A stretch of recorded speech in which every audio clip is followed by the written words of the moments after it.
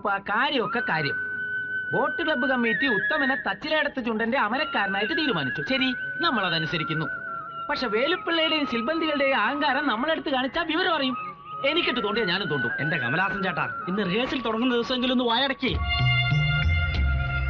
അല്ല കുളിച്ച് കുട്ടപ്പനായി ഹാജരായിട്ടുണ്ടല്ലോ പുതിയ അമരക്കാരൻ ഉത്തമൻ മുതലാളി.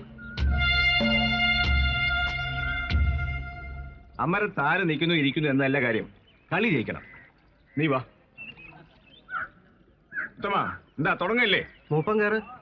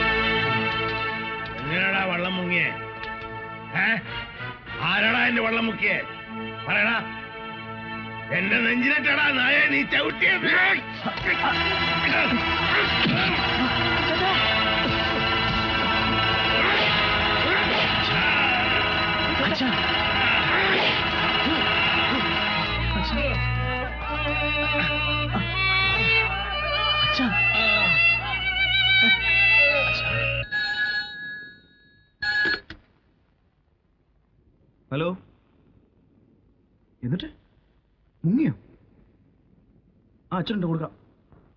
അച്ഛ. മുങ്ങിയോ? മുഴുവൻ മുങ്ങിയോ? മുങ്ങട്ടെ മുങ്ങത്തങ്ങര മുങ്ങട്ടെ. ആ പേടിക്കണ്ട പിള്ളേരെ ഞാനിതാ എത്തി. വക്കീലേ ആ. താൻ കേട്ടോ? തച്ചിലേടത്തെ തമ്പ്രാക്കന്മാരുടെ ചുണ്ടൻ നടു ഒടിഞ്ഞു വെള്ളത്തിൽ മുങ്ങി. ഇന്ന് ചുണ്ടൻ നാളെ ഇവിടേക്കാരൻ അങ്ങനെ ഓരോന്ന് ഓരോന്ന് ഓരോന്ന്. ഉത്തമനാണ്. അവൻ പറഞ്ഞ പറഞ്ഞതുപോലെ ചെയ്യും. ആ പിന്നെ വേലുपुള്ളേ ഓ. ബുദ്ധി എന്റേതാ. പേടിക്കാനൊന്നുമില്ല. ഒന്ന് രണ്ട് ദിവസം കിടക്കേണ്ടി വരും. അത്രേ ഉള്ളൂ. ശരി. കുഴപ്പമൊന്നുമില്ല. ഒരു കുഴപ്പമില്ല. അച്ഛാ. അച്ഛാ. അച്ഛാ. അച്ഛാ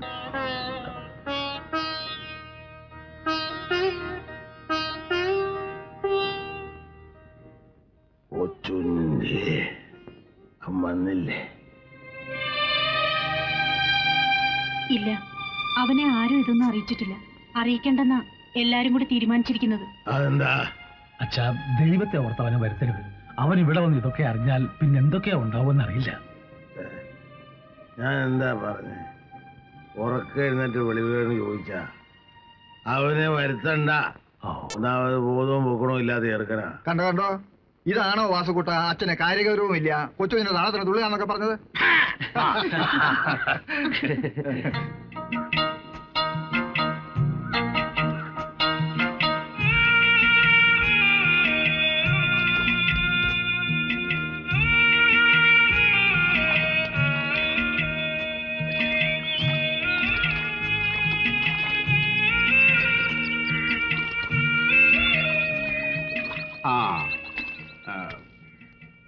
എന്തുണ്ട് ആശുപത്രി വിശേഷമൊക്കെ തലയിൽ തുന്നിക്കെട്ടുണ്ടെന്ന് പറഞ്ഞു കേട്ടു.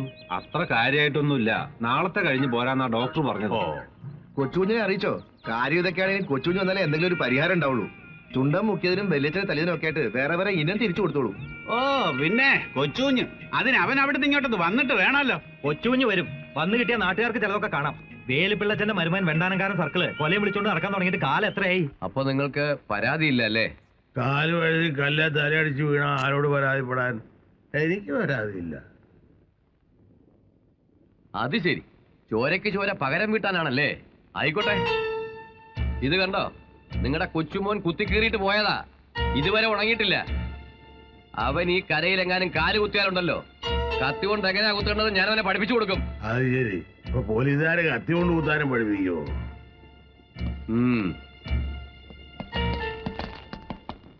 ആരെങ്കിലും പറഞ്ഞു കേട്ടെങ്ങാനും അവൻ വരുമോ അച്ഛാ? ആ അങ്ങനെ വരുന്നേ വരട്ടെ. പോലീസുകാർ ഇടിയുള്ളാനാണ് അവന്റെ വിധി എങ്കിൽ അങ്ങനെ. ഞാൻ ആരെയും വിളിച്ചു വരുത്തുന്നില്ല. എന്താ പോരെ. ഞാൻ എന്തായാലും വീടുവരുന്ന് പോയിട്ട് വരാം. എപ്പോ വരും? ഉടനെ വരും. നീ ഇവിടെ കാണണം. പറഞ്ഞു മനസ്സിലായല്ലോ? ആ. എടാ നീ ഇനി എപ്പോഴാ പോകുന്നത് ഞാൻ വാസു കൊച്ചേട്ടൻ വന്നിട്ട് ലാസ്റ്റ് ബോട്ടിനെ പോകും എന്താ കൊച്ചേട്ടാ? അല്ല ബോട്ടിന് പോകാനുള്ള കാശൊക്കെ എന്തെങ്കിലും ഉണ്ടോ? കാശ്? എന്നാ എന്നാ ഇത് വെച്ചോ. ബാക്കി തരണ്ട. ബാക്കി നീ എന്തെങ്കിലും വാങ്ങിച്ച് കഴിച്ചു. അയ്യോ എന്താ വെച്ചേട്ടാ എന്താ ഇങ്ങനെയൊക്കെ പറയുന്നേ? ഞാൻ ഡോക്ടറെ വിളിക്കട്ടെ. വാങ്ങിയതാ ആ, വാങ്ങിച്ചോ.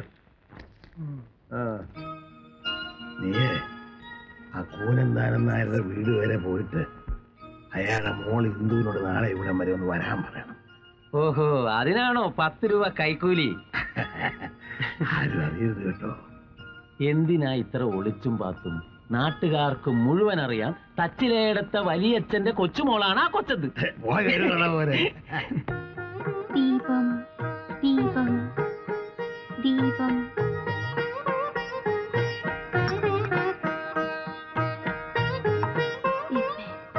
നിനക്ക് നാളെ പഠിത്തോണ്ടോടി ഉണ്ട്. ആ നാളെ ഒരു ദിവസം പോണ്ടാന്ന് വെക്കുക. നിന്റെ വലിയച്ഛൻ നിന്നെ ആശുപത്രിയിലേക്ക് വിളിച്ചിരിക്കുന്നു. കടവത്ത് വെച്ച കമലാസനം പറഞ്ഞതാ. കാലത്ത് പോവാൻ ഒരുക്കോ അവൾ പോകുന്നില്ല. തച്ചിലേടത്തെ നിലോപരയിടോ വലുത് അവളുടെ പേരിൽ എഴുതി തരാനായിരിക്കടി. അവകാശപ്പെട്ട മുതലല്ലേ? എന്തിനാ കളയുന്നത് അവകാശപ്പെട്ട മുതലൊക്കെ നിങ്ങൾ മേടിച്ചിട്ടുണ്ടല്ലോ. അവക്കൊന്നും വേണ്ട. മേടിച്ചു സത്യ. പക്ഷെ അവിടെ കൂടി തീരുവോ? ഇല്ല. കണക്ക് വിസ്തരിക്കാൻ നിന്ന ഒരേക്കർ തെങ്ങും തോപ്പ് പത്ത് പറ നിലം പിന്നെ ഈ വീടും പറമ്പും. വലിയ വീട്ടിലെ കുഞ്ഞ് വയറ്റിലുണ്ടാക്കി പഴപ്പിച്ച ഒരു പെണ്ണിനെ കല്യാണം കഴിച്ച് കൂടെ പൊറപ്പിക്കുന്നതിന് ഇത്രയും കിട്ടിയാ മതിയോ? പോരാ. നീ ഇനി എത്ര നല്ല പിള്ള ചമഞ്ഞാലും ഈ പെങ്കോച്ചിന് തന്ത ഞാനാണെന്ന് പറഞ്ഞാൽ ആൾക്കാർ വിശ്വസിക്കുവോ സച്ചിലെടുത്ത വാസുക്കുട്ടിനും നീയും തമ്മിൽ ഒരു ബന്ധമില്ല എന്ന് പറഞ്ഞാൽ നാട്ടുകാർ വിശ്വസിക്കോ? ഇല്ല. നാട്ടുകാർക്കൊക്കെ അറിയാം. ഞാൻ വെറും ഒരു ഭർത്താവ് ഉദ്യോഗസ്ഥനാണ്.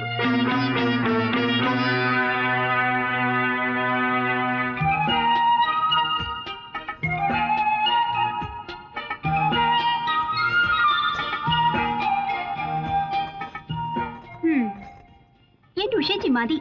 എത്ര നേരം ഒരുങ്ങാൻ തുടങ്ങിട്ട് കൊച്ചിനത് പറയാം. എന്റെ ആരാധകരെ എനിക്ക് ഒരിക്കലും നിരാശപ്പെടുത്താൻ കഴിയില്ല. ഓ മതി മതി. ഞാൻ കൊച്ചേട്ടൻ എഴുതുന്നുണ്ട്. ഈ ആരാധകരുടെ സ്വീകരണത്തിന്റെ ഒക്കെ കാര്യം. രണ്ടും കൂടി ഇവിടെ വാചോടിച്ച് തന്നാലേ ബോട്ട് അതിന് പാട്ടിന് പോകും. ഇന്ന് എന്നയുടെ കുറിപ്പടി. കാശ് അച്ഛനെ നിന്ന് വാങ്ങിച്ചു. ഏ പിള്ളേര് പോകാൻ പോവാ. ഇങ്ങനെ ഇവിടെ എന്നെ എടുക്കുവാ. നിനക്ക് കാലത്ത് തന്നെ എന്നാ പണിഞ്ഞടി? പിള്ളേര് പോകുന്നതിന് ഞാൻ എന്നാ തലയും കുത്തി നിൽക്കണോ? കാശ് കൊടുക്ക്.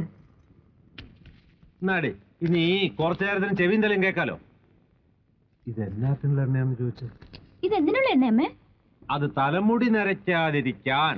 ഈശ്വര. സിസ്റ്റേഴ്സ് ആണോ സിസ്റ്റേഴ്സോ? ഇതെന്റെ മമ്മിയാ.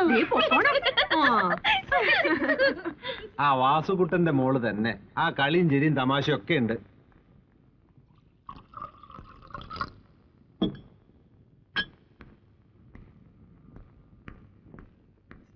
എന്തിനാ വല്യച്ച ഇന്ദുവിനോട് അത്യാവശ്യമായിട്ട് വരാൻ പറഞ്ഞത്? അതെ അവനോട് രഹസ്യം പറയാമെന്ന് വിചാരിച്ചാ. അപ്പൊ വാലെ തൂങ്ങി നീയും കൂടെ കയറി വന്നു. പിന്നെങ്ങനാ? ഓഹോ ഇപ്പൊ നിങ്ങൾ വല്യച്ഛനും കൊച്ചുമോളും ഒറ്റക്കെട്ട്. നമ്മൾ വെറുതെ കാര്യം പുറത്തും. കണ്ടോ? ഇന്നല്ലെങ്കിൽ നാളെ ഞാൻ തച്ചിലടുത്തേക്ക് കയറി വരാൻ പോണ പെണ്ണാ. എന്നിട്ട് വേണം എന്റെ കൊച്ചുകുഞ്ഞിനെ കൊണ്ട് നല്ല ഇടി ഇടിപ്പിച്ച് നിന്റെ അധികമുള്ള എല്ലാം ഓടിക്കാൻ. ഇടിക്കാൻ ഇങ്ങോട്ട് വന്നാ മതി. എന്റെ കഴുത്തിലോട്ട് താലി ഒന്ന് കേറിക്കോട്ടെ. കൊച്ചുമോനെ കൊണ്ട് ഞാൻ ഇച്ഛ എണ്ണ എഴുതിക്കും. അയ്യോ? എന്നതാ വലിയ രഹസ്യം പറയാനുണ്ടെന്ന് പറഞ്ഞ്? നീയേ ആ കഥ അങ്ങ് അടച്ച്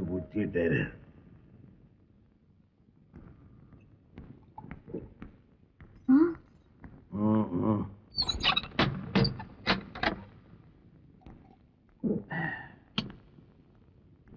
ഞാൻ പറയാൻ പോകുന്ന കാര്യം വീട്ടിൽ ചെന്ന് ശേഖരനോട് വല്ലതും പറഞ്ഞാണ്ടല്ലോ ഓ അതെന്ത് കാര്യ? ശേഖരൻ പോലും അറിയാൻ പാടില്ലാത്ത രഹസ്യം. അത് കുറച്ച് രഹസ്യം തന്നെയാ. എന്താ വലിയ കാര്യം? നീ തിരിച്ചു പോകുമ്പോഴേ ആ. ഫോൺ ആഫീസിൽ കയറി ഒരു ഫോൺ ചെയ്യണം. ആർക്ക്? കൊച്ചുകുഞ്ഞിന്. അവനോട് ഇത്തറ്റം വരാൻ പറ. അല്ലാതെ കാര്യങ്ങളൊന്നും ശരിയാവത്തില്ല. അയ്യോ കൊച്ചേട്ടൻ വന്നാ? നീ സമയങ്ങളെ ഒരു കള്ളാസം മേനെ എടുത്തോണ്ട് വാ. അവനോട് പറയാനുള്ള ഞാൻ പറഞ്ഞുതരാം. എഴുതിയെടുത്തൊക്കെ വായിച്ചാ മതി? എടീ ഫോണിൽ കൂടെ.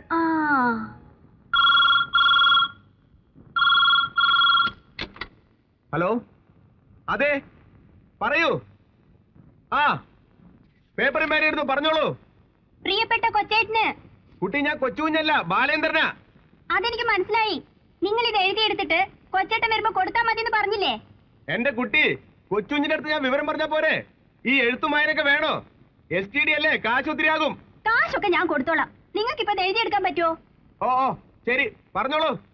പ്രിയപ്പെട്ട കൊച്ചേട്ടന് വല്യച്ഛൻ വിക്രമൻ നായർ എഴുതുന്നത്. അല്ല ഒരു സംശയം. വല്യച്ഛൻ കൊച്ചുഞ്ഞിനെ കൊച്ചേട്ടാന്ന് വിളിക്കാ? അയ്യോ അല്ല കൊച്ചേട്ടനല്ല. ആ പ്രിയപ്പെട്ട കൊച്ചുഞ്ഞിന് വല്യച്ഛൻ വിക്രമൻ നായർ എഴുതുന്നത്. ഈ കത്ത് കിട്ടിയാൽ ഉടൻ ഇത്തറ്റം വരണം. എഴുതിയോ? മൂന്നാൽ ദിവസത്തെ അവധി എടുത്തു പോന്നോളൂ.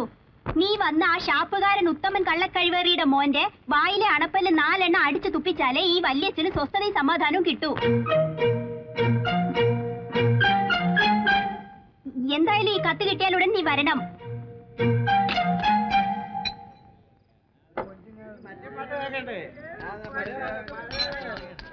ഉത്തമ കൊച്ചുകുഞ്ഞ് കടവത്തെത്തിയിട്ടുണ്ട് ആര് പറഞ്ഞു? ഞാൻ കണ്ടതാ. ആ നീ പോയിക്കോ.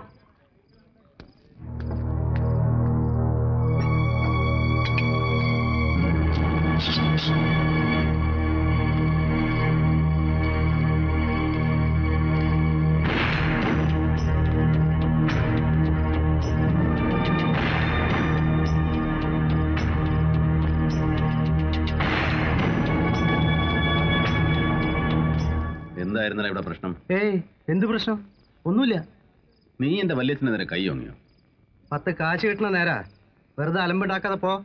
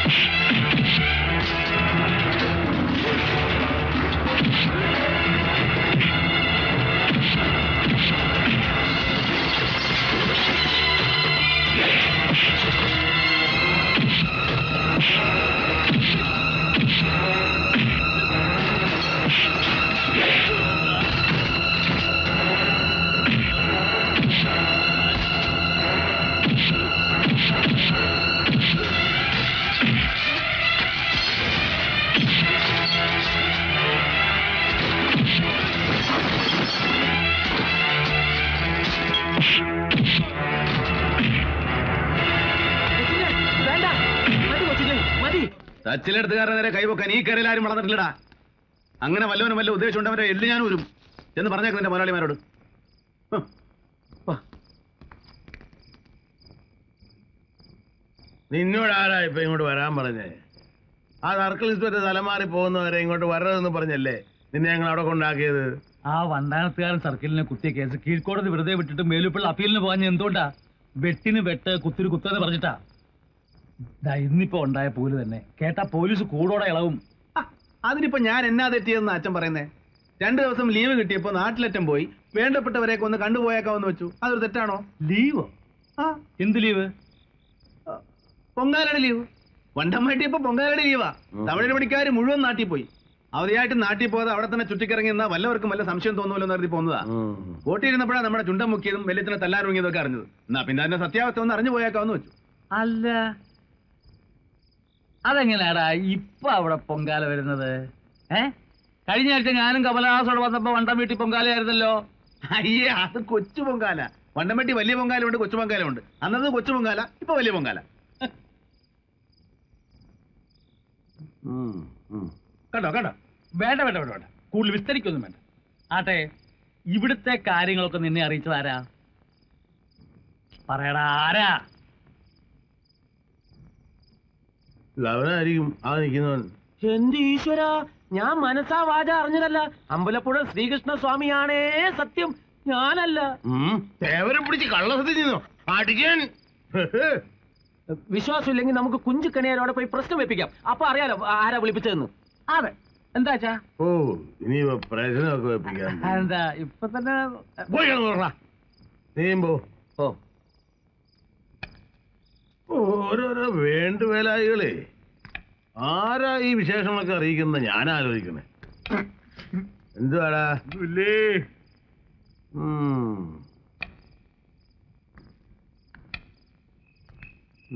നമുക്ക് നാട്ടുകാരോട് പിരിക്കാം. പുതിയ തച്ചിലേടത്ത് ചുണ്ടൻ വാങ്ങാനാന്ന് പറഞ്ഞാൽ ആരാ കാച്ചു തരാത്തത്? നിന്നെ നാട്ടുകാർ അട്ടിയിട്ട് വെച്ചിരിക്കല്ലേ തച്ചിലടത്ത് ചുണ്ടൻ വാങ്ങാൻ. നീ നിന്റെ പാട് നോക്കണം. എന്നാടാ രണ്ടും കൂടെ തെറ്റുകൂടി ഇവിടെ? വണ്ടമേട്ടി പോയിട്ട് കുറെ നാളായില്ലേ? നാട്ടിലെ വിശേഷമൊക്കെ ചോദിച്ചറിയാൻ. ആ. വലിയ ഉറങ്ങുന്നില്ലേ? ആ ഉറങ്ങാം. എടാ മോനെ നീ അവനോട് ശരിക്കും മേളിച്ചോ. പിന്നെ വെല്ലത്തിനെ കൈവച്ചവനെ ഞാൻ വെറുതെ വിടുവോ? ഞാൻ ആരും മേ? നീ മൊത്തം എത്ര അടി കൊടുത്തു കാണും? അതിപ്പോ എണ്ണം പറഞ്ഞോ. ഒരു ഏകദേശം. ചെറുതും വലുതുമായിട്ട് ഒരു പത്ത് ഇരുപത്തഞ്ചെണ്ണം കൊടുത്തു കാണും. ആഹാ അത് ധാരാളം മതി. അതിൽ കൂടത്തേ ഉള്ളൂ. സമയം കുറെ ആയാലോടാ പോയി കിടന്ന് ഉറങ്ങാൻ നോക്കടാ പോടാ. ഞാൻ പോവാൻ പോകും ചേട്ടാ. Good night. എന്റെ അമ്മയുടെ ഗുഡ് നൈറ്റ്. എടാ പിന്നെ നിന്നെ ഞാനാ വിളിപ്പിച്ചെന്ന് വല്ലവർക്കും സംശയമുണ്ടോ? ഏ ആ അത് ആരെങ്കിലും ചോദിക്കുകയാണെങ്കിൽ അത്ര വിട്ട കൊണ്ട് പറയണ്ട കേട്ടോ. അവിടെ വരുമ്പോ അങ്ങ് ആ.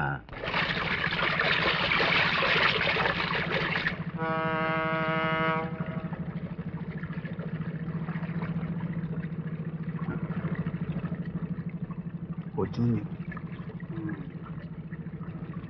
കൊച്ചുകുഞ്ഞിത് എപ്പോ എത്തി? ഇന്നലെ വൈകിട്ട് വന്ന വിവരം പറഞ്ഞ ഞാൻ ഒരുത്തരം അങ്ങോട്ട് അയച്ചിരുന്നല്ലോ അവിടെ എത്തിയില്ലേ അവൻ?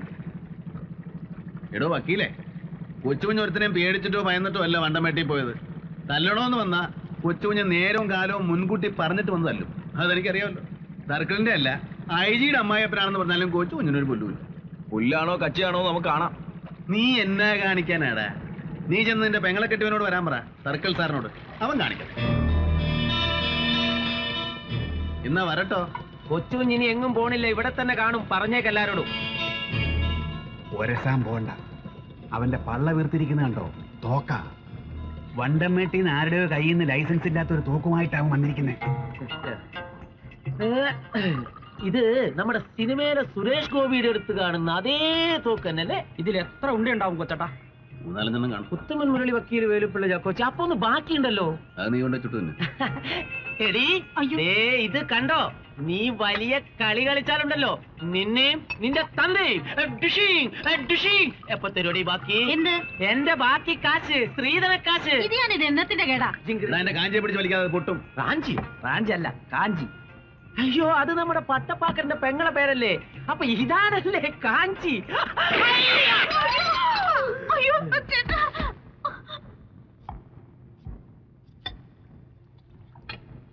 ഈ സവാള മുറിച്ചത് ഇത്രയും മതിയോ ചേച്ചി?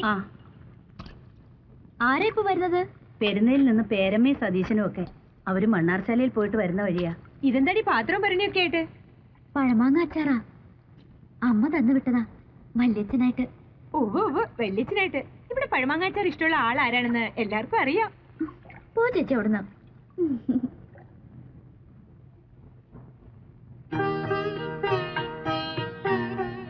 വണ്ടമേട്ടിലെ തോട്ടം നോട്ടവും നടത്തിപ്പ് നിർത്തി ഇവനിനി ഇവിടെ കൂടുവാണെങ്കിൽ പിന്നെ എന്തിനാ ഇത് വെച്ച് താമസിപ്പിക്കുന്നത്?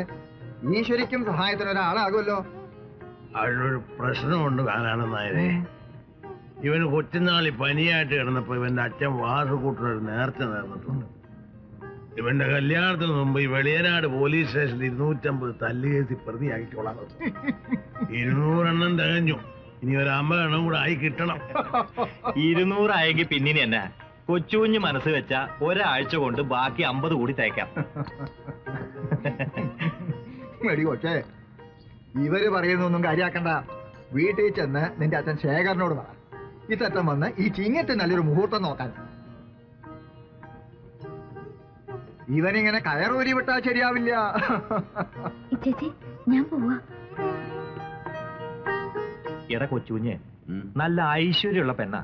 നീ ഇങ്ങനെ കാള കളിച്ച് നടന്ന അതിന് ആമ്പിള്ളേര് കൊണ്ടുപോകും. ഏ അങ്ങനൊന്നും സംഭവിക്കില്ല അവിടെ ജാതകത്തിൽ ഇരുപത്തിരണ്ടാമത്തെ വയസ്സ് വലിയൊരു ആപത്തുണ്ടാകുന്നുണ്ട്. അയ്യോ അതെന്താ? ഇവനുമായിട്ടുള്ള കല്യാണം അല്ലാതെന്താ? വിക്രമൻ കുഞ്ഞെ അധികം ഷൈൻ ചെയ്യല്ലേ കേട്ടാ? അയ്യോ.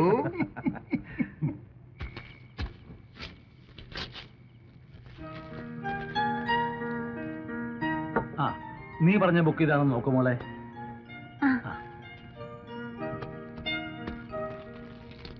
മോളെ എപ്പോ ഒന്നും ആലപ്പുഴന്ന്?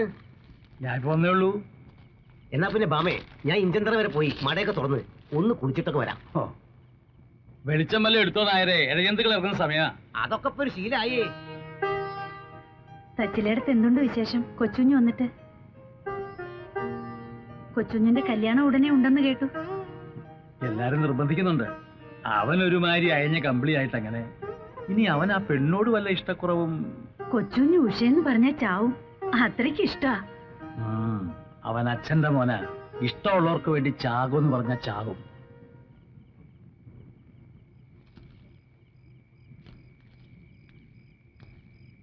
ആ, ആ, സതീശനായിരുന്നു. നീ എപ്പോ വന്നടാ? ഞങ്ങൾ ഉച്ചയ്ക്ക് എത്തി. ഞാൻ അമ്മാവനെ കണ്ടിട്ട് പോവാനിരിക്കായിരുന്നു അയ്യോ എന്റെ ഡാവി ഒന്നും പറയണ്ട. എനിക്ക് ആ ഏല ആഫീസിൽ പോയിട്ട് ഒന്നിട്ട് കാര്യങ്ങളുണ്ടായിരുന്നു. നീ ഇരിക്കെ. അവിടെയാണെങ്കിൽ ഒരു ഉത്സവത്തിന്റെ ആൾ. ഒരു വിധത്തിൽ ഓടിപ്പിടിച്ച് ലാസ്റ്റ് ബോട്ടിൽ കയറി ജെട്ടി വന്നിറങ്ങി നേരെ വരുന്ന വഴിയാ ഞാൻ നിന്നത് അമ്മാവൻ ആ ലോണുകളൊക്കെ കൃത്യമായിട്ട് അടയ്ക്കുന്നില്ലേ? ദേ പുലിവാലാക്കല്ലേ? നീ എന്തുവാണ് ഈ പറയുന്നത് എന്ത് ഭൂകമ്പം ഉണ്ടായാലും എല്ലാ മാസവും ഒന്നാം തീയതി കൃത്യമായിട്ട് ബാങ്കിലോടെല്ലാം അടച്ചോണമെന്ന് ആ നായർക്ക് സ്ട്രിക്റ്റ് ഓർഡർ കൊടുത്തേക്കുവാ. ഇല്ലേ പലിശ നമ്മൾ തന്നെ വേണ്ട അടയ്ക്കാൻ. അമ്മാവ ആ. ഊൺ വെച്ചിരിക്കുന്നു. ആ. നീ കഴിച്ചോ? ആ.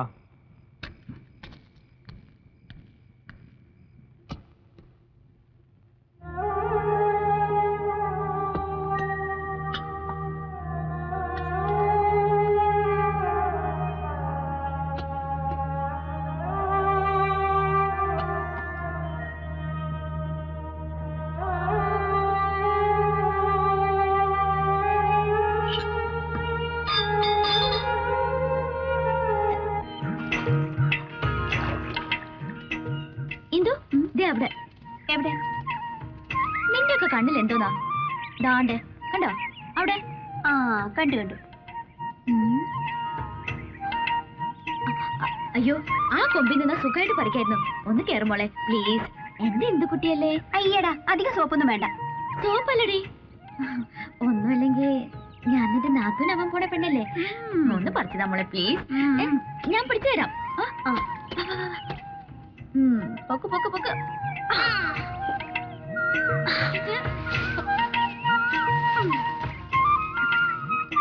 ഓടിക്കോ എടുത്തേ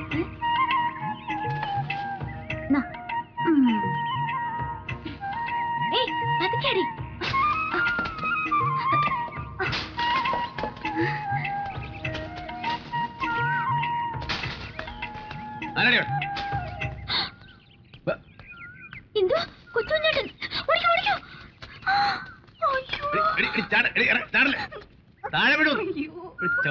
വന്നു നീ എന്തിനാ ഇപ്പൊ ഇങ്ങോട്ട് വന്നേ?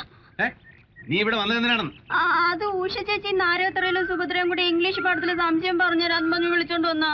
സംശയം തീർക്കുന്ന മരത്തിന്റെ മുകളിലാണ് അത് ഉഷ ചേച്ചി എന്നെ നിർബന്ധിച്ച് കയറ്റിയതാ. ഉഷ ചേച്ചി നിർബന്ധിച്ച് നീ എവിടെ വേണേലും കയറുവോ? കെട്ടിക്കാൻ പ്രായ വേണല്ലോടി നീ? നാണല്ലോ നിനക്ക്? ഇറങ്ങി വാടി മരം കയറി. അല്ലേ ആ സൂക്ഷിച്ച് ഇറങ്ങിക്കോട്ടെ ആ.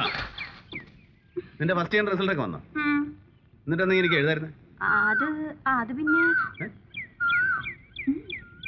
അങ്ങോട്ട് നോക്ക്. ഉഷ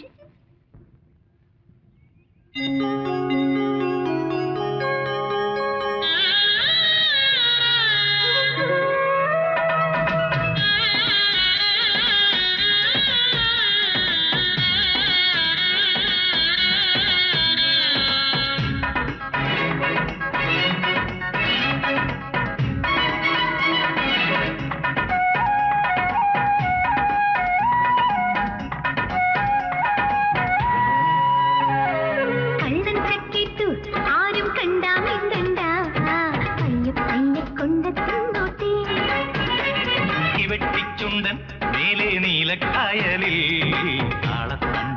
சிப்பாயும்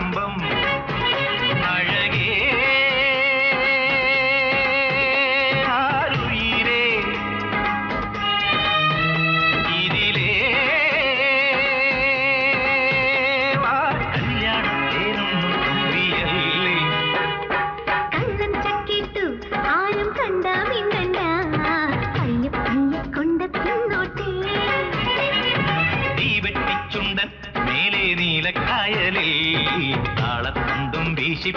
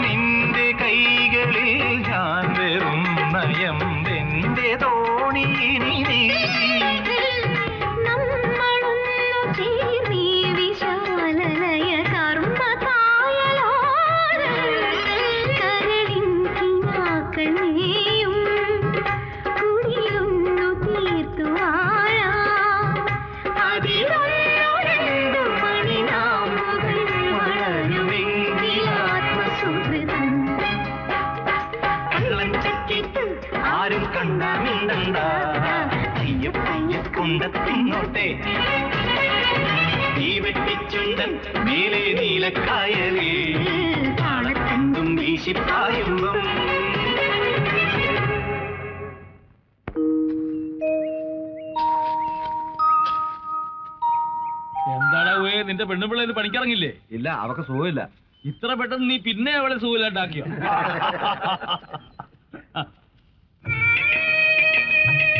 എന്തോ നിന്നെ ഒന്ന് കാണാനിരിക്കുകയായിരുന്നു ഞാൻ. കൊച്ചുകുഞ്ഞിനെ വിവരമറിയിച്ച് വിളിച്ചു വരുത്ത ആരാണെന്ന് നിനക്കറിയില്ലല്ലേ? അയ്യോ ഏ? എനിക്ക് ഏ? വേദന എടുക്കുന്നു. ഞാൻ എങ്ങനെ അറിയാനാ? ആഹാ നിന്നെ ഇന്ന് ഞാൻ മുത്തശ്ശൻ വരെ സമ്മതിച്ചല്ലോ. എന്നിട്ടാണോ പിന്നെ? ആരോടും പറയണ്ടെന്ന് വല്യച്ചും പറഞ്ഞോണ്ടാ. ഞാൻ പറയാതിരുന്ന വയസ്സുകാലത്ത് അച്ഛൻ എന്തെങ്കിലും വെളിവികേട് പറഞ്ഞു എന്ന് വെച്ച് അതിനൊപ്പിച്ച് താളം തൊള്ളാൻ കൊച്ചുമോളും ഇപ്പൊ തന്നെ അവന്റെ പേരിൽ ഒരു മൂവായിരം കേസുണ്ട് ഇവിടെ. അതിനെന്നാ? കൊച്ചുഞ്ഞോച്ചേന്റെ കണ്ടാലേ പോലീസുകാർ മൂത്രമൊഴിക്കും. പിന്നെന്നാ. കൊച്ചുഞ്ഞാട്ടിനുണ്ടെങ്കിലേ കരയ്ക്കൊരു രസമുള്ള കരക്കാര് പറയണേ. എന്നാലുണ്ടല്ലോ അവനുണ്ടാക്കുന്ന പുക്കാറിനൊക്കെ വല്യച്ഛനും കൊച്ചുമോളും കൂടെ സമാധാനം പറഞ്ഞോണം. അപ്പോ അതിലൊന്നിലും കൊച്ചേട്ടന് ഉത്തരവാദിത്വമില്ലേ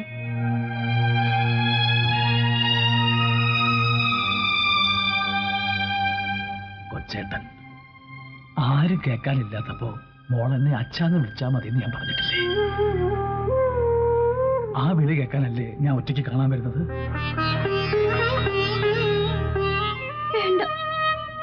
അതൊരു ശീലമാക്കിക്കൊണ്ട് പരിസരം പറഞ്ഞ് ഞാൻ എപ്പോഴെങ്കിലും വിളിച്ചാലോ? വേണ്ട. മനസ്സുകൊണ്ട് ഞാൻ എപ്പോഴും അച്ഛന്ന് വിളിക്കുന്നുണ്ട്. അത് മതി. അത് മതി എന്നാ അമ്മയും പറഞ്ഞിരിക്കണം. എന്തിയടോ തന്റെ മോൻ? അവനൊരു തോക്കുമായിട്ട് വന്ന് അത് കാട്ടി നാട്ടുകാരെയൊക്കെ വെട്ടുന്നു കേട്ടു. അതും കൊണ്ട് എന്റെ അടുത്തോട്ട് വരാൻ പാടോ? അയ്യോ സാറേ ചെറുപ്പത്തിന്റെ വിവരക്കേട് കൊണ്ട് അവൻ എന്തെങ്കിലും കാണിച്ചാൽ സാർ ക്ഷമിക്കണം. ചെറുപ്പത്തിന്റെ വിവരക്കേടൊന്നുമല്ല അടിച്ച് എല്ലൊടിക്കാത്തതിന്റെ കുറവാ. അത് ഞാനായിട്ട് തീർത്തോളാം.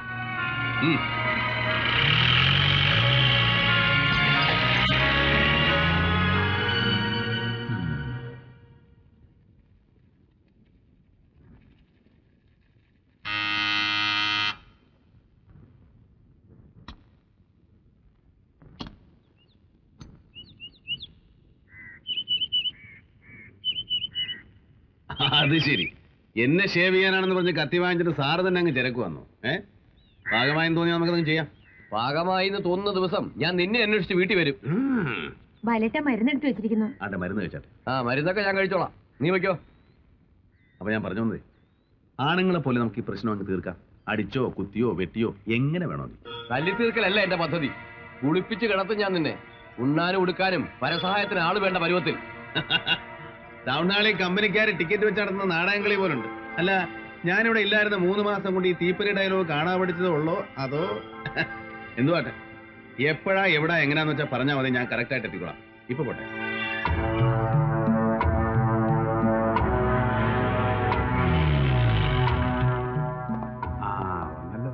എന്താണോ വക്കീൽ സാറേ? എന്താ പ്രശ്നം? ആ, അല്ല അങ്ങോട്ട് വന്ന ആൾ അറിയിക്കേണ്ടെന്ന് വെച്ചാ സാറുമാരെ ഇങ്ങോട്ട് വിളിപ്പിച്ചത്. ഡാ, അവൻ നിന്റെ വീട്ടിൽ കയറി കളിച്ചിട്ടല്ലേ പോയത്? ഏ? ഇനി അധികാരം അങ്ങനെ ഞെളിഞ്ഞു നടക്കണ്ട. അതിനുള്ള ഏർപ്പാടൊക്കെ കുറിപ്പുണ്ടാക്കി വെച്ചിട്ടുണ്ട്. ആ.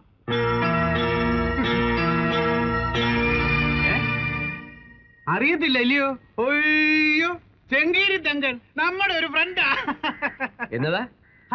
ചെങ്കീരി തങ്കൻ. സാറുമാര് കേട്ടിട്ടുണ്ടാവും. പാലാക്കാരനാ. പറഞ്ഞു വന്നാ നമ്മുടെ ഉത്തമന്റെ ഒരു ബന്ധുവാ. സാറന്മാരുടെ ഡിപ്പാർട്ട്മെന്റായിട്ട് അളിയനേറിയ ചെറിയ ബന്ധങ്ങളൊക്കെ ഉണ്ട്. ആ എടാ എങ്കിരി നീ എത്ര കാലം ജയിലിൽ കിടന്നുണ്ടാ ഓ അങ്ങനൊന്നും ഇല്ല സാറേ. അതിങ്ങനെ വന്നും പോയിരിക്കും. പിന്നെ മാസത്തിൽ ഒരു രണ്ട് തവണയെങ്കിലും ജയിലിൽ കിടന്നില്ലെങ്കിൽ ഒരു ഏതാണ്ട് പോലെ ആ പിന്നെ നീ എന്തെങ്കിലും ഒരു പെറ്റി കേസ് ഉണ്ടാക്കി ഈ തങ്ങനെ രണ്ടു മൂന്ന് ദിവസത്തേക്ക് ലോകത്തിലിടണം. അതെന്നാ കാര്യമുണ്ട് സാറേ. ഒന്നും കാണാതെ ഞങ്ങൾ എന്തെങ്കിലും പറയൂ. നാളെ ആ ബോട്ട് ക്ലബിന്റെ പൊതുയോഗം. യോഗ സ്ഥലത്ത് വെച്ച് എന്തോ എന്തോന്നേലെങ്കിലും പിടിച്ചോണ്ട് നമ്മുടെ ഉത്തമൻ കൊച്ചുകുഞ്ഞുമായിട്ടൊന്ന് കോർക്കും. കൊച്ചുകുഞ്ഞിന്റെ സ്വഭാവത്തിന് അവൻ വെറുതെ വിടുമോ? കയ്യാങ്കളി തുടങ്ങുമ്പോ നീ രണ്ടെണ്ണത്തിനെയും തൂക്കിയെടുത്തോണ്ട് പൊയ്ക്കോണം. നാട്ടുകാരുടെ നോട്ടത്തിൽ ബോട്ട് ക്ലബിന്റെ പരിപാടി അലമ്പാക്കിയതിന് ഉത്തമനെയും കൊച്ചുകുഞ്ഞിനെയും പോലീസ് അറസ്റ്റ് ചെയ്യുന്നു. നാളെ ശനിയാഴ്ച ജാമ്യം വേണമെങ്കിൽ തിങ്കളാഴ്ചയെ പറ്റൂ. ഒരു ദിവസം രണ്ടുപേരും കൂടെ ഒരു സെല്ലിലൊന്ന് കിടക്കട്ടെ. പിന്നെ നേരം വെളുക്കുന്നവരെ സാറുമാരൊന്നും ഉണ്ടായിരുന്നാ മതി. ഇതിനിടയിൽ നമ്മുടെ ചെങ്കീരി തങ്കൻ കൊച്ചുകുഞ്ഞിനെ കാര്യമായിട്ടൊന്ന് പെരുമാറും. അതിനുള്ള സാധന സാമഗ്രികളൊക്കെ അവൻ കരുതിയിട്ടുണ്ട്? പിന്നെ ആ. ചോദ്യം ചെയ്യലോ? കേസ് തെളിയിക്കലോ? ഒക്കെ ആയിക്കോട്ടെ. പക്ഷെ ഒരു കാര്യമില്ലാതെ നമ്മൾ പൊതുയോഗ സ്ഥലത്ത് പോയി അറസ്റ്റ് ചെയ്യാന്ന് പറഞ്ഞാ? പ്രശ്നം ഉണ്ടാകാൻ സാധ്യത കൊണ്ട് പോലീസ് പ്രൊട്ടക്ഷൻ വേണമെന്ന് പറഞ്ഞൊരു പരാതി മുൻകൂർ തന്നാലോ? എന്നാലും അത് ഓ അവന്റെ ഒടുക്കത്തെ ഒരു എന്നാലും നീ ആദ്യം ഇവനെ പിടിച്ചു ലോക്കപ്പിലാക്ക്. രാജങ്കിരി അവനെ ലോക്കപ്പിൽ കിട്ടിയാൽ ഇടിച്ചിടിച്ച് ഇഞ്ച പരുവത്തിലാക്കണം. തന്നെത്താൻ എഴുന്നേറ്റ് നിൽക്കരുത്. മനസ്സിലായോ? എന്റെ പൊന്നു സാറേ അത് ഞാൻ ഏറ്റു. നിങ്ങൾ തമ്മിൽ തലകേറിയാ നിങ്ങൾ പോയ വള്ളം പൊങ്ങി വരുമോ അവിടെ ഇരിക്കേ. ഇരിക്കേ.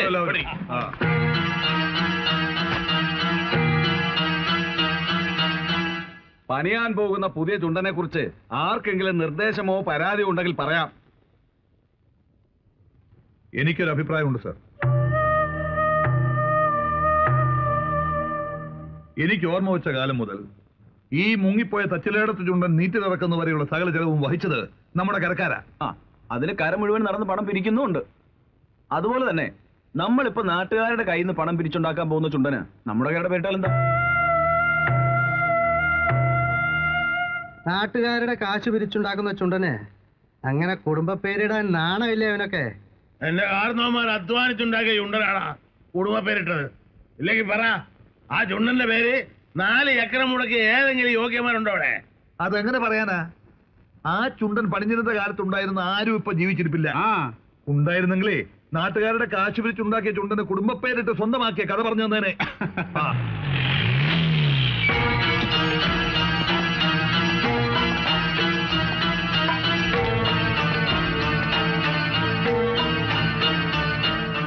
പറ്റിയതൊക്കെ പറ്റി. ഇനി ഞങ്ങൾ കരക്കാര് പിരിച്ചുണ്ടാക്കുന്ന ചുണ്ടനെ ഈ കരയുടെ പേര് തന്നെയാ. നെടുമുടി ചുണ്ടൻ. കുടുംബപ്പേരിൽ കുടുംബ പേരിൽ വള്ളം ഇറക്കി ഞെളിയണ്ടവന്മാരെ ഈശയെന്ന് കാശെടുത്ത് വള്ളം പണിയണം. നാട്ടുകാരെ ഇനി കുപ്പിയിലാക്കാൻ നോക്കണ്ട. അത് കണ്ട വരത്തന്മാരല്ല തീരുമാനിക്കുന്നത് കുടുംബത്തിൽ പറഞ്ഞ മാന്യന്മാരുണ്ട് ഇവിടെ. അവർ തീരുമാനിക്കും.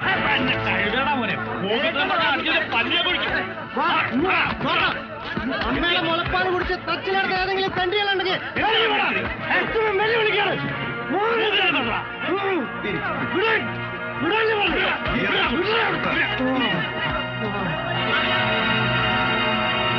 പ്രസിഡന്റ് സാറേ ഞങ്ങൾ പോവുക അടുത്ത ഉത്രട്ടാതി വള്ളംകളിക്ക് തച്ചിലെടുത്തുകാരും വെള്ളം ഇറക്കുന്നുണ്ട് അതിന് ആരുടെയും കുടുംബത്തിൽ നിന്ന് ഒരു നയാ പൈസ തരണ്ട.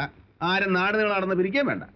അതിന് ഞങ്ങൾ സമ്മതിക്കില്ല. തച്ചിലെടുത്ത ചുണ്ട് ഞങ്ങൾ നാട്ടുകാരെയാ ഞങ്ങൾ കുഞ്ഞിന്റെ കൂടെ കൊണ്ട് കുഞ്ഞെ കുഞ്ഞു പോരുത്. ഞങ്ങളാ പറയുന്നത് പോരുതെന്ന്. ഞാൻ പോവുകയല്ല തങ്കായി മുപ്പ. ഞാനിവിടെ പോനാ നമ്മൾ ജനിച്ചു വളർന്ന മണ്ണല്ലേ ഇത്? ഞാനിവിടെ തന്നെ ഉണ്ട്. ആണാണെങ്കിൽ നിക്കടാ. ചോദിച്ചതിന് സമാധാനം പറഞ്ഞിട്ട് പോ. നിന്നെ പേടിച്ചിട്ട് പോകില്ലടാ പുല്ലേ. നിന്നെ ആര് പേടിക്കാൻ? നീ വെറും ഞാഞ്ഞൂലല്ലേ? ചൂണ്ടയെ കൊളുത്തിയിട്ടിരിക്കണ ഞാഞ്ഞൂൽ. നിന്റെ അണ്ണാക്കി തള്ളി വെച്ചിരിക്കുന്ന ഈ ചൂണ്ടയുടെ ചരടിന്റെ അറ്റവും പിടിച്ചോണ്ട് ചില പോലീസുകാരന്മാർ പുറത്തു നിൽപ്പുണ്ട് കൈ നനയാതെ മീൻ പിടിക്കാൻ. ആ പോലീസുകാരന്മാരെ വീട്ടിൽ വിളിച്ചു കയറ്റി കെട്ടിയോളമാരെ കൊണ്ട് കള്ളും കപ്പയും ചില്ലറ സൽക്കാരവും കൊടുത്ത് ഒതുക്കി വെച്ചിരിക്കുന്ന ചില മുതലാളി സാറന്മാരിന് അകത്തൊരുപ്പുണ്ട്. ഈ പന്നിമലത്തിൽ കളിയൊന്നും തച്ചിലിടത്തെ കൊച്ചു കുഞ്ഞിന്റെ അടുത്ത് ചിലവാകൂല. അതുകൊണ്ടാണ് നിന്റെ അടുത്ത് ഞൊട്ടാൻ വരാത്തത്. മനസ്സിലായോ? പടാ.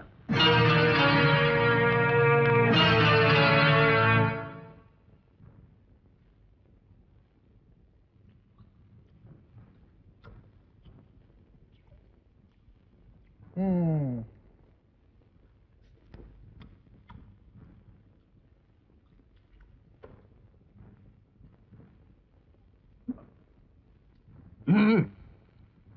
ഒഴിക്കണം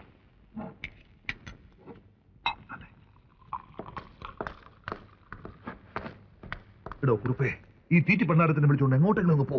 അയ്യോ ഞാൻ അങ്ങോട്ട് കൊണ്ടുവരാം ഞാൻ അങ്ങോട്ട് കൊണ്ടുവരാം? എവിടേക്കെങ്കിലും കൊണ്ടുപോയിക്കോണം. വെറുതെ നാണക്കേടായി പോയി ഇനി മേലാൽ ഇത്തരം കേസുമായി പോന്നേക്കരുത്. കൊച്ചുകുഞ്ഞിനെ തല്ലണമെങ്കിൽ ഞാൻ നേരി തല്ലിക്കോളാം. അതിന് ഇത്തരം കൂലിത്തല്ലുകാരും അവരുടെ ഒത്താശയും എനിക്ക് വേണ്ട. അത് സാറേ നമ്മുടെ പദ്ധതി ആ കൊടുത്തോണ്ടല്ലോ? ഇല്ലെങ്കിൽ ഇല്ലെങ്കിൽ താൻ അങ്ങ് മലമറിച്ചേനെ. ഡോ കുറുപ്പേ ആ കൊച്ചുഞ്ഞിനെ ചെങ്കിരിക്കുന്നു കാണിച്ചൂടെ ലോക്കപ്പിൽ വെച്ചേ ഇടിക്കുന്ന ആൾ പ്രതിജ്ഞയും ചെയ്തു. ഗ്രഹപ്പിഴയ്ക്ക് വല്ല മിസ്സിംഗ് ഉണ്ടായാൽ നാളെ ആ കൊച്ചുകുഞ്ഞ് എന്നെ വെറുതെ വിടുവോ? എന്തോന്നായാലും ശരി താനായാലും ഇങ്ങോട്ട് ഇവിടുന്ന് പോണം. ഇനിയിപ്പോ കാവലിരിക്കാൻ വെച്ചോളും മാനം എന്നെ കൊണ്ട് വയ്യ. ഓ ഒരു വല്ലാത്ത ഏടാ കൊടുത്തില്ല ഞാൻ ചെന്ന് നിങ്ങൾ സമാധാനിക്ക്. ഞാനോ നോക്കട്ടെ. എടാ എങ്കിരി നീ എന്റെ മാനം കെടുത്തരുത്. ലോക്കപ്പിൽ വെച്ചുള്ള നമ്മളെ പ്ലാനും പദ്ധതി എല്ലാം പൊളിഞ്ഞു. ഇനി പുറത്ത് വെച്ച് അങ്ങോട്ട് രണ്ട് കൊടുക്കാൻ എന്നെ കൊണ്ട് പറ്റുമോ അക്കാര്യം ഞാൻ ഏറ്റു സാറേ. സാർ ആളെ ഇങ്ങ് കാണിച്ചു തന്നെ അക്കാര്യം ഞാൻ ഏറ്റു. എങ്കിൽ മറ്റക്കാര്യം ഞാനും വെച്ചോ ആ.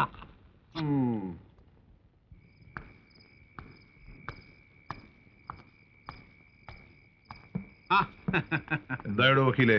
ആ ചെങ്കിരുത്തങ്ങനെ എന്നാ ചെയ്തു? എന്നാ ചെയ്തെന്നോ? പിള്ളേച്ചൻ നോക്കിക്കോ ഞാൻ അവനെ കടവത്തിറക്കിയിട്ടാ ഇപ്പൊ ഇങ്ങോട്ട് വരുന്നത്. കൊച്ചുഞ്ഞിനെ ഇപ്പൊ അവ ഒരു പരുവത്തിലായി കാണും. ആ പിള്ളേച്ച ആരെങ്കിലും ഏച്ചി ആ ഷാപ്പിൽ നിന്ന് കുറെ താറാവിനെ കോഴി വല്ല മേടിച്ചോണ്ട് പോയി. ആ. കാര്യം ഇതൊക്കെ ആണെങ്കിലും അന്വേഷിച്ചിടത്തോളം ഈ ചെങ്കീരി തങ്ങനെ അത്ര മോശക്കാരനൊന്നുമല്ല. കോട്ടയം ചന്തയിൽ പത്ത് വരെ തല്ലിയിട്ട് പുല്ല് പോലെ പോയവനാ.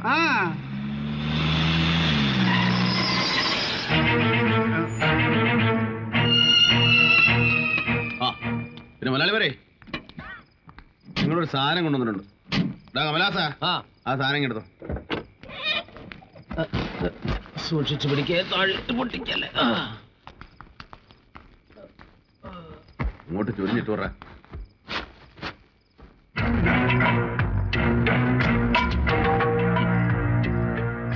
ഒരു ചൊല്ലുണ്ട്. നാണമില്ലാത്തവന്റെ പറയാൻ പാടില്ലാത്തൊരു താൽ കെടുത്താലും അതൊരു തണലാണെന്ന്. നോക്കി പഞ്ഞുവയ്ക്കാറായല്ലോ ഇനിയെങ്കിലും നിർത്തിക്കൂടെ ചെറ്റത്തരൊക്കെ? അതങ്ങനെ അണ്ണാമൂത്ത മരം കയറ്റം മറക്കൂ ആ ചാക്കെടുത്തോടാ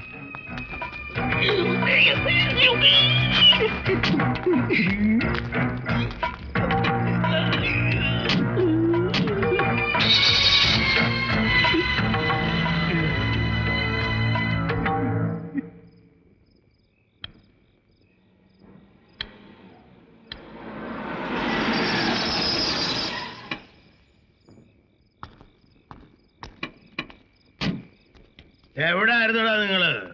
കൊച്ചുകുഞ്ഞിന്റെ ഒരു കൂട്ടുകാരൻ പാലായിന്ന് വന്നിരുന്നു. പുള്ളിക്കാരനെ ഒന്ന് സൽക്കരിക്കാനും യാത്ര അയക്കാനും വേണ്ടി പോയതാ. എന്നിട്ട് അയച്ചോ?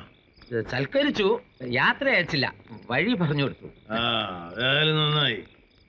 ആ നിന്നെ നിന്റെ കെട്ടിയോട് വന്ന് തിരക്കുന്നുണ്ട് വേഗം ചെല്ല്. അല്ലെ അവിടെ കിടന്ന് വിഷമിക്കും. ഞാൻ ആ കൊച്ചു ഞാൻ എന്ത് പറയുന്നടാ വള്ളം ഇറക്കുന്നതിനെ കുറിച്ച് എന്റെ കണ്ണടയും വരെ എന്ത് നഷ്ടപ്പെട്ടാലും കഷ്ടപ്പെട്ടാലും ചുണ്ടനിറക്കണം ഓർമ്മ വെച്ച നാൾ മുതൽ ചെയ്തു വരുന്നതാ. എന്റെ കണ്ണടഞ്ഞു കഴിഞ്ഞാൽ പിന്നെ നിങ്ങളുടെ ഇഷ്ടം. അടുത്ത കളിക്ക് ഞാൻ ഉണ്ടാവുന്ന എന്താ ഉറപ്പ്? അതിന് വെല്ലത്തിനെന്തിനാ ഈ കാട് കയറി ചിന്തിക്കുന്നത്? നമ്മൾ ഇത്തവണയും വെള്ളം ഓർക്കും. അത് ഏത് വഴിക്കാണെങ്കിലും. പോരെ. അച്ഛനിപ്പോ ഒരാഴ്ചക്കുള്ളിൽ എത്ര രൂപ സംഘടിപ്പിക്കാൻ പറ്റും? എത്ര രൂപ സംഘടിപ്പിക്കാൻ പറ്റുമെന്ന് പെട്ടെന്ന് ഇങ്ങനെ ചോദിച്ചാ ആ കൂലം തരുന്നവരോട് ചോദിക്കണം. പലയിടത്തായിട്ട് കിട്ടാൻ കിടപ്പുണ്ട്. കിട്ടാക്കുറ്റിയാ. സംഘടിപ്പിച്ചെടുക്കണം. പുത്തൻ ചുണ്ടൻ പടിഞ്ഞിറക്കാൻ ഇനി നേരമില്ല. വാങ്ങണം. എങ്ങനെ പോയാലും ഒരു എട്ടൊമ്പത് ലക്ഷം രൂപയാവും ഞാനായിട്ട് ഒരു അഞ്ച് ലക്ഷം രൂപ ഇടാം. ബാക്കി അച്ഛനിടണം ഇടാം. കാര്യം നടക്കണ്ടേ. ആന വലിഞ്ഞാലും തുളിച്ചു കെട്ടാൻ പറ്റൂ. ആ. സഹദേവന്റെ കട അടച്ചു കാണുമെന്തോ എനിക്കൊന്ന് എസ്റ്റിഡി വിളിക്കണം. എസ്റ്റിഡി ആ ഇപ്പൊ വിളിച്ചു തുടങ്ങിയാൽ നമുക്ക് സമയമാകുമ്പോ പണം കിട്ടുള്ളേ. പോരാ. സഹദേവന്റെ പീടിയാൽ എസ് ടി ഡി വിളിക്കാൻ. ഈശ്വരാധീനം കൊണ്ട് തറവാട്ടിൽ കെട്ടിച്ചിറക്കാൻ പെൺകുട്ടികളില്ലാത്തത് ഭാഗ്യം. ആണൊരുത്തനായിട്ടുള്ള നിനക്ക് ഒഴിഞ്ഞു വെച്ച മാതിരി പെൺകുട്ടി കാത്തിരിക്കാനുള്ളത് കൊണ്ട് ആ വഴിക്കും പ്രശ്നമില്ല. ആര് കുറ്റപ്പെടുത്തിയാലും ഇനിയുള്ള കാലം വലിയച്ഛനൊന്നും പറയാൻ പറ്റില്ല അമ്മയുടെ കണ്ണീരും മിണ്ടാട്ടയിലേമ്മ കാണുമ്പോൾ ചോദിക്കാനും എതിർക്കാനും പലവട്ടം തോന്നിയിട്ടുള്ളതായി എനിക്കും. നിനക്ക് ചോദിക്കാം എതിർക്കാം. അതിനുള്ള അധികാരവും അവകാശമുണ്ട് ഞാനിത് പറയുമ്പോൾ വല്യച്ഛൻ ഇഷ്ടക്കേടാവും. എന്തിനായിരുന്നു ഇതൊക്കെയെന്ന് അമ്മ ഒരിക്കൽ വല്യച്ഛന്റെ മുഖത്ത് നോക്കി ചോദിച്ചാൽ കൃത്യമായിട്ടൊരു മറുപടി ഉണ്ടോ വല്യച്ഛന്റെ കയ്യിൽ പറ്റിയ തെറ്റ് പലരെയും കണ്ണീരിൽ ആഴ്ത്തിയ ഒരു വലിയ തെറ്റ്. ആ തെറ്റിനെ തട്ടിച്ചു നോക്കുമ്പോൾ അച്ഛൻ കാണിക്കുന്നതൊക്കെ ശരിയാണെന്ന് തോന്നും. വളരെ ശരി.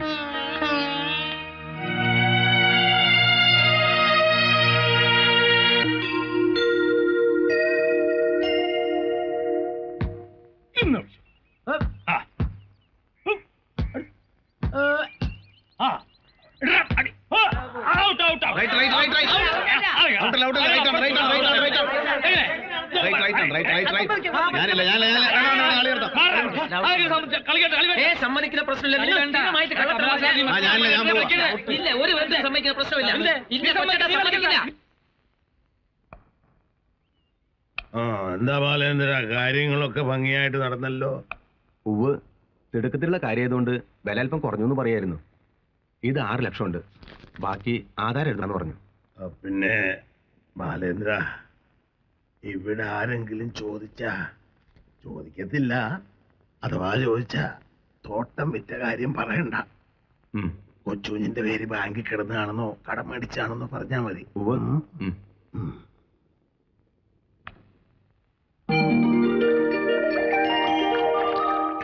ഒരു കണക്കിന് നോക്കിയാ നിങ്ങൾക്ക് കുടുംബത്തോടെ ഭ്രാന്ത. വള്ളംകളിക്ക് ചുണ്ടം വാങ്ങാനായി ഇത്രയും വരുമാനം ഉണ്ടായിരുന്ന ഏലത്തോട്ടം വിൽക്കുക. അത് അത് തന്നെ അറിയാൻ മേലാഞ്ഞിട്ടാ. സ്ഥിരമായിട്ട് കളിക്കിറങ്ങുന്നൊരു ചുണ്ടൻ. ഒരു തവണ മത്സരത്തിന് നീറ്റിലിറങ്ങിയില്ലെങ്കിൽ ഞങ്ങൾ കുട്ടനാട്ടുകാരുടെ നോട്ടത്തിൽ ആ കുടുംബം ക്ഷയിച്ച് ഗതിയില്ലാണ്ടായി എന്നർത്ഥം. വണ്ടമേട്ടി കിടക്കണ ഏലത്തോട്ടം പറ്റി ആരും അറിയില്ല. പക്ഷേ കുട്ടനാട്ടി കളി തോറ്റ ലോകം മുഴുവൻ അറിയും. കൊച്ചു അമരത്തിൽ നിൽക്കുന്നത് കണ്ടിട്ടില്ലല്ലോ? വാ ഒന്ന് കാണണം. നിനക്കിന്ന് പഠിത്തമില്ലായിരുന്നു ഇല്ലായിരുന്നു. ആഴ്ചയിൽ ഒരു ദിവസമെങ്കിലും ആ സാറുമാർക്ക് ഒരു മനസ്സമാനം കൊടുക്കണ്ടേ? ബാലേന്ദ്രനാണോ മനസ്സിലായോ?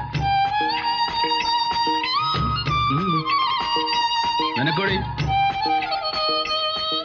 നിങ്ങൾ തമ്മിൽ ചില ഉരസലുകൾ നടന്നിട്ടുണ്ടെന്നാണ് എന്റെ അറിവ്. കോണി കൂടെ. അയ്യോ വണ്ടമ്മേട്ടിനെ കൊച്ചു ജീവനും കൊണ്ട് ഓടി. ആ പോയ പെങ്കൊച്ചന്റെ ആരാന്നറിയോ ബാലേന്ദ്രൻ എന്റെ പെങ്ങള. എന്റെ അച്ഛൻ എന്റെ അമ്മയെ കല്യാണം കഴിക്കുന്നതിന് മുമ്പ് ഞങ്ങൾ തറവാട്ട് പോയ സ്കൂളിൽ പഠിപ്പിച്ചിരുന്ന അമ്പലപ്പഴക്കാർ ഒരു ടീച്ചറായിട്ടൊരു ബന്ധമുണ്ടായിരുന്നു. ബന്ധം എന്ന് പറഞ്ഞാൽ അവരവസാനം ഒളിച്ചോടാൻ വരെ തീരുമാനിച്ചത്. വിവരം അറിഞ്ഞ വല്യച്ഛൻ ടീച്ചറെ കൊണ്ട് നിർബന്ധിച്ച് അവധി എടുപ്പിച്ച് നാട് പിടിച്ചു എന്നിട്ട് അച്ഛന്റെ കല്യാണം നടത്തി. പിന്നെ ഞാൻ ജനിച്ച് രണ്ടു വർഷം കഴിഞ്ഞ് ടീച്ചർ വീണ്ടും ജോലിയിൽ പ്രവേശിച്ചു. പിന്നെ അവരുടെ ബന്ധം പണ്ടത്തേന് പിന്നത്തതായി. ഇപ്പൊ പോയി ഇന്ദുവിനെ ഗർഭം ധരിച്ചതോടെ പ്രശ്നം ഗുരുതരമായി. പിന്നെ ആത്മഹത്യാശ്രമം. ചെയ്തു പോയ തെറ്റിന് മാപ്പ് പറഞ്ഞ് വല്യച്ഛൻ ടീച്ചറുടെ കാൽ പിടിച്ച് വേറൊരു കല്യാണത്തിന് സമ്മതിപ്പിച്ചു. അന്ന് വീടും കുടിയൊന്നുമില്ലാതെ തറവാട്ടുപോയ അമ്പലത്തിൽ രാമായണം വായനയും ഭജനപ്പാട്ടുമായിട്ട് കഴിഞ്ഞ കൂനന്താനത്തുകാരൻ ഒരു നായരെ കൊണ്ട് ടീച്ചറെ കല്യാണം കഴിപ്പിച്ചു. ഈ കൂനന്താന നേർക്ക് ഇതൊക്കെ അറിയാവോ? പിന്നെ അച്ഛന്റെ പ്രേമകാലത്ത് സഹായ നായരായിരുന്നല്ലേ? ആട്ടെ കൊച്ചുഞ്ഞിന്റെ അമ്മയുടെ നിലപാട്? ഈ ഹിന്ദു ഉണ്ടായ കഥ അറിഞ്ഞതിന് ശേഷം നാളിതുവരെ അച്ഛനോട് സംസാരിച്ചിട്ടില്ല. എതിർത്തും അനുകൂലിച്ചും വെറുത്തും ഒന്നും. നാട്ടിലെല്ലാവർക്കും ഈ കഥ അറിയാം. പക്ഷേ ആരും അറിഞ്ഞതായി നടിക്കാറില്ല. അത് ഈ ആഴ്ച പതിപ്പിലെ നീണ്ട കഥ പോലെ തുടർന്നുകൊണ്ടേയിരിക്കും.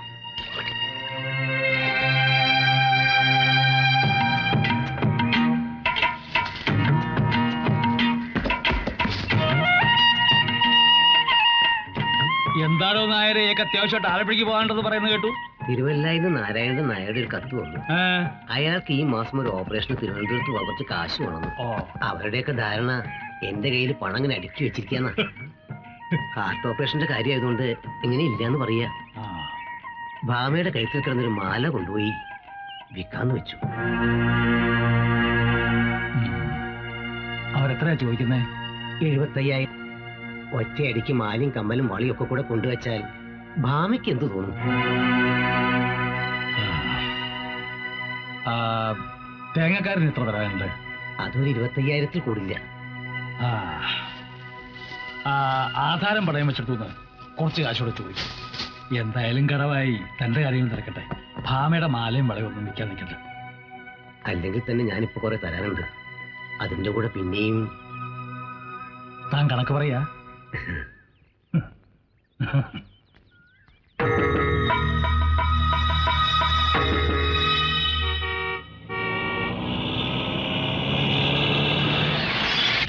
എന്റെ മുരളിയേട്ട വേണ്ട കേട്ടോ ആൾക്കാർ വരുന്ന വഴിയാ. അതിനെന്താ? അവിടെ നിൽക്കുവച്ചേ ശരി വരുന്നില്ലെങ്കിൽ വേണ്ട. ഒരു അഞ്ചു മിനിറ്റ് സംസാരിച്ചെന്ന് വെച്ച് ആകാശമൊന്നും ഇടിഞ്ഞു വീടില്ലല്ലോ മുല്ലിട്ടത് കളിക്കല്ലേ കേട്ടോ? ആരെങ്കിലും കണ്ട് കൊച്ചുകുഞ്ഞേട്ടനോട് എങ്ങാനും പറഞ്ഞാ എന്നെ തുണ്ടും തുണ്ടും ആക്കും.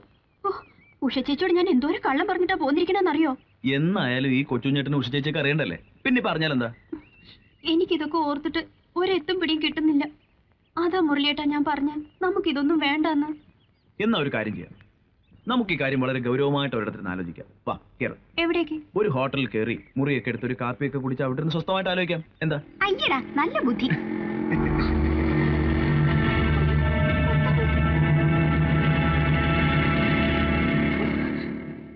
ഈശ്വര ഇനി അദ്ദേഹം കരയിലൊക്കെ പോയി പറഞ്ഞു നടക്കും. എനിക്ക് വയ്യ എനിക്ക് പേടിയാവുന്നു. ഓ പിന്നെ എന്ന് പറഞ്ഞാൽ അവന് വേറെ ജോലിയൊന്നുമില്ല. ഇടി നീ കിടന്ന് ബഹളി പിടിക്കാതെ. ഞാൻ പോയി അവനൊന്ന് കുപ്പിയിൽ ഇറക്കിട്ട് പോരാം.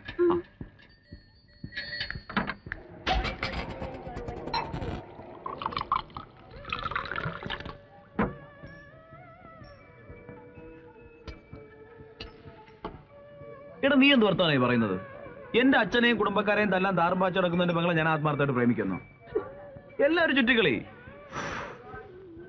ദേ ഒരു കാര്യം ഞാൻ പറയാം. തമാശ കളിച്ച് കളിച്ച് എല്ലേ കയറി പിടിക്കരുത്. വെച്ച് താമസിപ്പിക്കാതെ മുതലെടുത്ത് മുങ്ങിക്കോണം. ഒരു ദിവസം കടപ്പുറം കാണാനെന്നും പറഞ്ഞ് വിളിച്ച് ഏതെങ്കിലും ഹോട്ടലിൽ കൊണ്ടുപോയിക്കോ. തിരുവല്ലയിൽ എന്റെ സുഹൃത്തിന് ഒരു ഹോട്ടലുണ്ട്. ഞാൻ പറഞ്ഞെല്ലാം ശരിയായി തരാം. വരട്ടെ പറയാം. ഇപ്പൊ അത്തട്ടായിട്ടില്ല വളഞ്ഞു വരുന്നേ ഉള്ളൂ ഉത്തമ. ദേ കരയിൽ പോയി ആരോടും പറയും നാട്ടിക്കല്ലേ? ഏയ് എന്റെ വായിന്ന് പോയി ആരും അറിയില്ല. എന്നാ പിന്നെ ഓരോന്നും പറയട്ടെ പോരട്ടെ?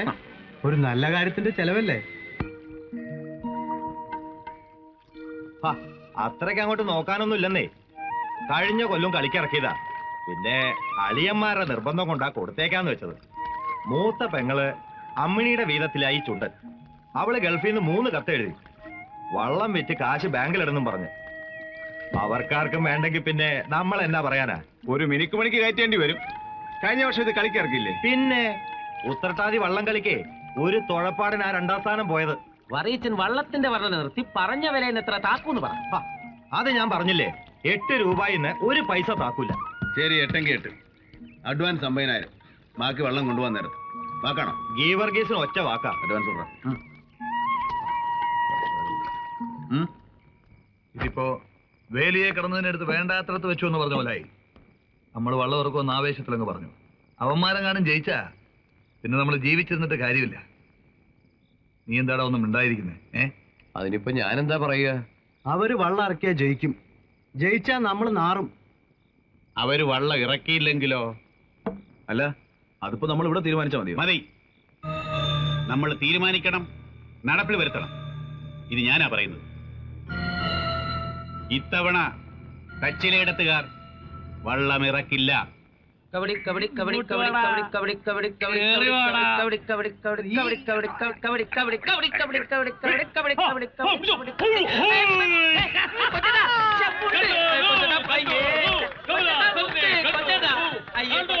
കൊച്ചുഞ്ഞേ എന്താണ് ഒന്നി വന്നേ.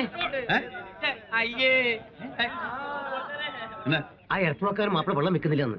അയാളെ അഡ്വാൻസ് തിരിച്ചു കൊടുത്തു. അഡ്വാൻസ് വാങ്ങിച്ചത് കാശ് തിരിച്ചു കൊടുക്കേ. അതിവിടെ ന്യായമാ? ഇതിലെന്തോ കളിയുണ്ട്. നിങ്ങൾ വെപ്രാളപ്പെടാതെ അറിയിച്ചാ?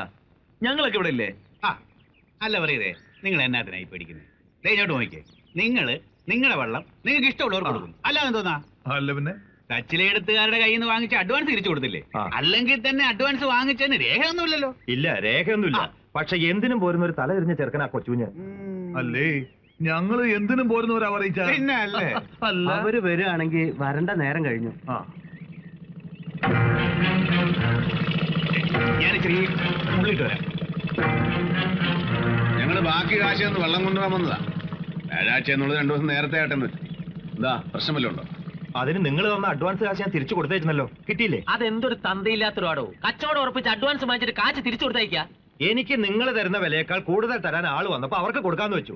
എന്താ അമ്പതിനായിരം രൂപ ഇട്ടേ കഴിക്കുവോ ഇങ്ങനെയാണെങ്കിൽ തന്റെ കെട്ടിച്ചു വിട്ട പെങ്ങന്മാരെ ആദ്യം കൊടുത്ത സ്ത്രീധനത്തിൽ താത്താരെങ്കിലും കെട്ടാന്ന് പറഞ്ഞാൽ താ തിരിച്ചു വിളിച്ചോണ്ട് ഒന്ന് കെട്ടിച്ചു ഇങ്ങോട്ട് മാറിക്കേ. താനെന്താ ഗുണ്ടായിസം കാണിച്ച് ആളെ പഠിപ്പിക്കുക മതിയടാ മതി. കൂടുതൽ ഭർത്താവൊന്നും പറയണ്ട.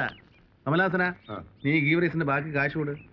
വള്ളം ഞങ്ങൾ കൊണ്ടുപോകും എടോ കൊച്ചുഞ്ഞെ വള്ളം വാങ്ങിച്ചത് ഞങ്ങളാ. ഈ നാടായ നാട്ടിൽ ആർക്കെങ്കിലും ചുണ്ടൻ വെള്ളം വെക്കാനുണ്ടെങ്കിൽ അത് ഞാൻ വാങ്ങിച്ചിരിക്കും. എടോ എരപ്പേ ഒറ്റ ശ്വാസത്തിൽ തനിക്കിത് പറയാൻ ധൈര്യം വേണമെന്നുണ്ടെങ്കിൽ ഈ പിണ്ണാക്കമാടന്മാര് കാളാമുണ്ടം പോലെ ഇതുപോലെ പുറകെ നിൽക്കണം. എനിക്കത് വേണ്ട. ഇനി തല്ലാനോ ഇടിക്കാനോ കുത്താനോ ആണെങ്കിൽ താൻ എനിക്ക് പറ്റിയ തരപ്പടിയല്ല തല്ലിയാ തിരിച്ചെല്ലാം കെൽപ്പുള്ളവനെ കൊച്ചു കുഞ്ഞു തല്ലു. ആണത്തമുള്ളവനാ വള്ളം ഇറക്കുന്ന കാര്യത്തിൽ വാശി കാണിക്കേ. അല്ലാതെ വെറുതെ മസിൽ പിടിച്ച് പേടിപ്പിക്കാതെ പൊന്നു കൊച്ചു കുഞ്ഞെ. കാണിക്കാം. കാണിക്കൂടോ ഒത്തിട്ടാതി വള്ളംകളി എന്നൊരു വള്ളംകളി കുന്നമിടക്കാലി നടക്കുകയാണെങ്കിൽ മത്സരത്തിന് തച്ചിലടത്തി ഉടനും കാണും. കാണുമെന്ന് മാത്രമല്ല തന്റെയും തന്റെ സിൽബന്ധികളെയും വള്ളത്തിന് മൂന്ന് വള്ളപ്പാട് മുന്നിൽ തച്ചിലടത്തി ഉണ്ടൻ ഒന്നാം സ്ഥാനത്ത് വരും. ഇല്ലെങ്കിലുണ്ടല്ലോ ഞാൻ പാതി മീശയും പിടിച്ച് തലയെ മുട്ടയടിച്ച് കളിസ്ഥലത്തൂടെ പാട്ടയും കൂട്ടി നടക്കും. മറിച്ചാണ് സംഭവിക്കുന്നതെങ്കിൽ തന്റെ തല ഞാൻ ചെരയ്ക്കും. അല്ല തെരപ്പിക്കും ചെരപ്പ് തന്റെ പണിയാണ്. ഓ നമുക്ക് കാണാം. കാണാം. എടോ അറിയിച്ച ഞങ്ങൾ തന്നതിനേക്കാൾ അമ്പതിനായിരം രൂപ കൂടുതൽ കിട്ടുമെന്നുള്ള ആക്രാന്തം കൊണ്ടാണല്ലോ താൻ ഈ തരവഴി കാണിച്ചത്. എന്നാ ഇതുകൂടെ ഇരിക്കട്ടെ തന്റെ തന്തയുടെ ശവ അടക്കുന്ന ചെലവ് എന്റെ വക ഓണത്തിന്റെ അടുത്ത് കെട്ടിട്ടോ ചെലവാക്കാതെ വേടാ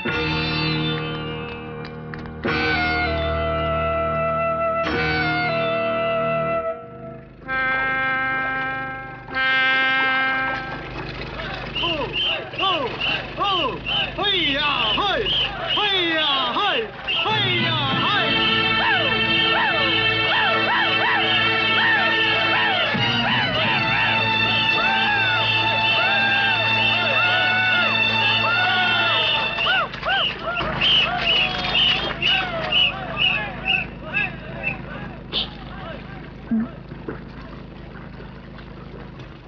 കിട്ടിയോ കൊച്ചേട്ടാ ഇതെന്താ ഉപ്പും മുളകും പോലെ വിൽക്കാൻ നിരത്തി വെച്ചിരിക്കുക താഴത്തങ്ങാടിയിൽ ഒരു ചുണ്ടൻ ഏതാണ്ട് പറഞ്ഞുറപ്പിച്ചു വെച്ചതാ. ഇന്ന് കാശും കൊണ്ട് വന്നപ്പോ അവർ വിൽക്കുന്നില്ല അയ്യോ ഇനി എന്ത് ചെയ്യും? ബാർബർ ശങ്കുണിക്ക് പണിയായി. തല മൊട്ടയടിച്ച് പകുതി വീശ എടുക്കാന്ന് പറഞ്ഞാ കാണാൻ നല്ല ശേലായിരിക്കും. എന്താ കാലേവാരി കായലോട്ട് ഞാൻ പറഞ്ഞ എന്താ ആ കൊച്ചൊരു തമാശ പറഞ്ഞല്ലേ അങ്ങനെ ഇപ്പൊ തമാശക്കണ്ട പെമ്പിള്ളേരായ കുറച്ച് അടക്കൊതുക്കൊക്കെ വേണം ഇത് കയറൂരി വിട്ടിരിക്കല്ലേ ദേ പേടിപ്പിക്കലും മര്യാദ പഠിപ്പിക്കലും ഒക്കെ കെട്ടിക്കൊണ്ടുവരുന്ന പെണ്ണിന്റെ അടുത്ത് മതി കേട്ടോ. അത് ന്യായം. ഇതാ കൊച്ചുഞ്ഞെ കല്യാണം കഴിയുന്നത് വരെ അതിനോട് ചൂടാവുന്ന അതിന് ഇഷ്ടമല്ല. ആരുടെ കല്യാണം കഴിയുന്ന കാര്യ? എനിക്ക് മൂലക്കുരുവിന്റെ സൂക്കാടുള്ളവരൊന്നും വേണ്ട. ഓ ഒരു തമാശ പറഞ്ഞപ്പോഴേക്കും ഈ മൂച്ചൊക്കെ വള്ളം ഇറക്കുന്ന കാര്യത്തിലും കണ്ടാ മതിയായിരുന്നു. ഞാൻ ഒരു തവണ പറഞ്ഞ കേട്ടോ. ഞാൻ കമലാസനം പറഞ്ഞതിന്റെ ബാക്കിയാ പറഞ്ഞേ. നമ്മളോടൊന്നും പറഞ്ഞില്ല. പെണ്ണെ വെറുതെ എന്റെ കൈക്ക് പണി വെക്കരുത്. ആ. അതിന് കൊച്ചുഞ്ഞ് ടെൻഷൻ ആവൊന്നും വേണ്ട. ഒറ്റ മാസം കൊണ്ട് മുടി വളരും. ഞാൻ പണ്ട് പളനിക്ക് പോകാൻ മുടി വടിച്ചിട്ട് ഒരു മാസം കഴിഞ്ഞപ്പോ നല്ല ആരുടെ ആരുടെ ആരുടെ?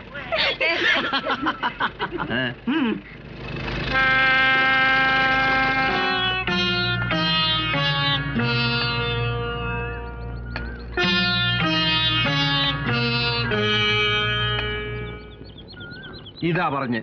എന്തിനായാലും എടുത്തുചാട്ടം പാടില്ലാന്ന്. ഒരു വർഷം കളിച്ച് ചുണ്ടൻ ഇറങ്ങിയില്ലെങ്കിൽ ഇറങ്ങിയില്ലാന്നേ ഉള്ളൂ. ഇതതാണോ തല മൊട്ടയടിക്കും മീശ പാതി പഠിക്കും ശേഖര താൻ വെറുതെ മനുഷ്യനെ ആദ്യം പിടിപ്പിക്കാൻ എന്തെങ്കിലും പോംവഴി ഉണ്ടോ ആലോചിക്കും. ഓ കളിക്ക് ഇനി രണ്ട് ദിവസം കൂടുള്ളൂ അതിനിടെ എന്നാ പോകാൻ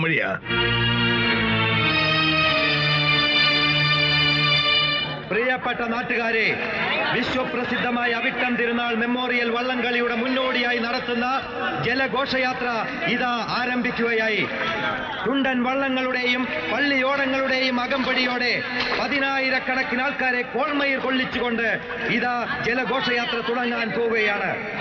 മത്സരത്തിൽ പങ്കെടുക്കാൻ എത്തിയ വള്ളങ്ങൾ അരീക്കുറ്റി ചുണ്ടൻ അംബേദ്കർ സെന്റ് ജോർജ് ജവഹർ തായങ്കരി കാവാലൻ ചുണ്ടൻ വലിയ ദിവാൻജി നെടുമുടി ചുണ്ടൻ ചമ്പക്കുളം ചുണ്ടൻ. കഡ് മിസൈലുകളെ തോൽപ്പിക്കുന്ന വേഗതയുടെ രാജാക്കന്മാർ അണിഞ്ഞൊരുങ്ങി ആർ ഡി ഒയുടെ പച്ചക്കൊടിക്ക് കാത്തു നിൽക്കുകയാണ്. കഴിഞ്ഞ മത്സരങ്ങളിലെല്ലാം ഒന്നാം സ്ഥാനം കരസ്ഥമാക്കിയ തച്ചിലെടുത്ത് ചുണ്ടൻ. ഇല്ല എന്നത് ശ്രദ്ധേയമാണ്. ഏതാനും നിമിഷങ്ങൾക്കകം ഘോഷയാത്ര ഇത് ആരംഭിക്കാൻ പോവുകയാണ്.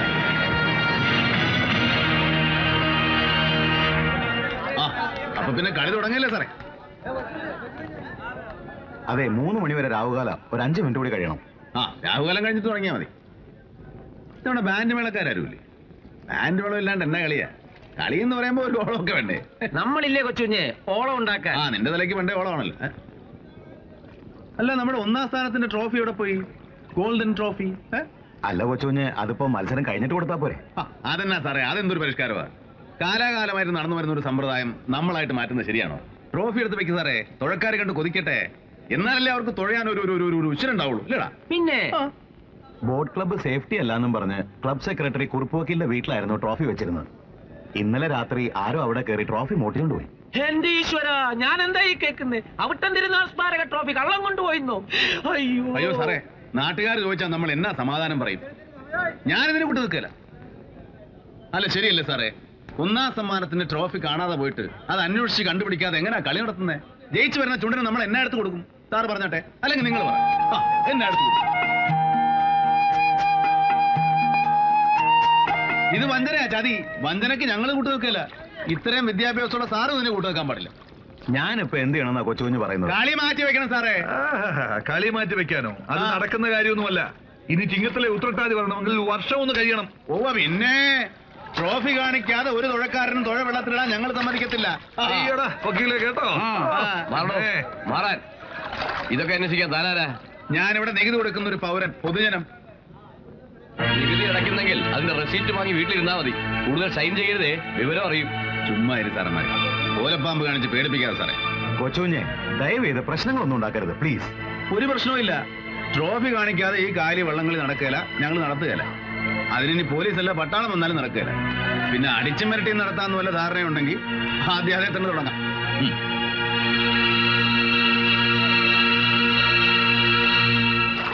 പ്രിയപ്പെട്ട നാട്ടുകാരെ ചില സാങ്കേതിക കാരണങ്ങളാൽ ഇന്ന് നടത്താനിരുന്ന വള്ളംകളി ഇനി ഒരു അറിയിപ്പുണ്ടാകുന്നത് വരെ മാറ്റിവെച്ചിരിക്കുന്നു. അടുത്ത കളിയുടെ ദിവസവും തീയതിയും നിശ്ചയിച്ച ശേഷം നിങ്ങളെ അറിയിക്കുന്നതായിരിക്കും.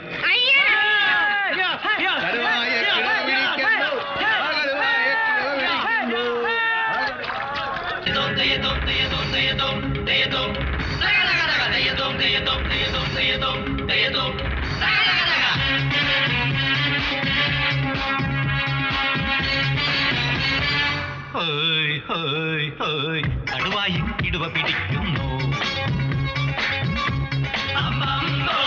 മരയൊന്തിനു ചായമടിക്കുന്നു. കടുവായി ഇടുവ പിടിക്കുന്നു. മരയൊന്തിനു ചായമടിക്കുന്നു. വവ്വാലിന് ഊഞ്ഞാലാട്ടുന്നു. പുഴമീനിനു നീന്തൽ കോച്ചിങ്ങോ?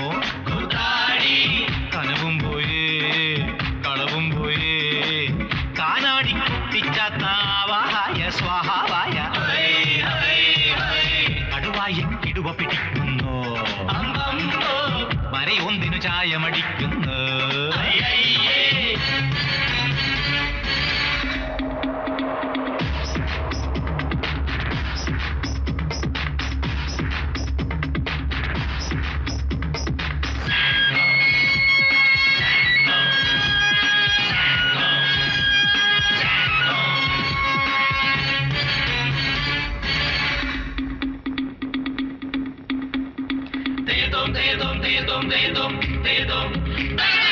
ആഞ്ഞിലിത്തടി വെട്ടിപ്പണിതൊരു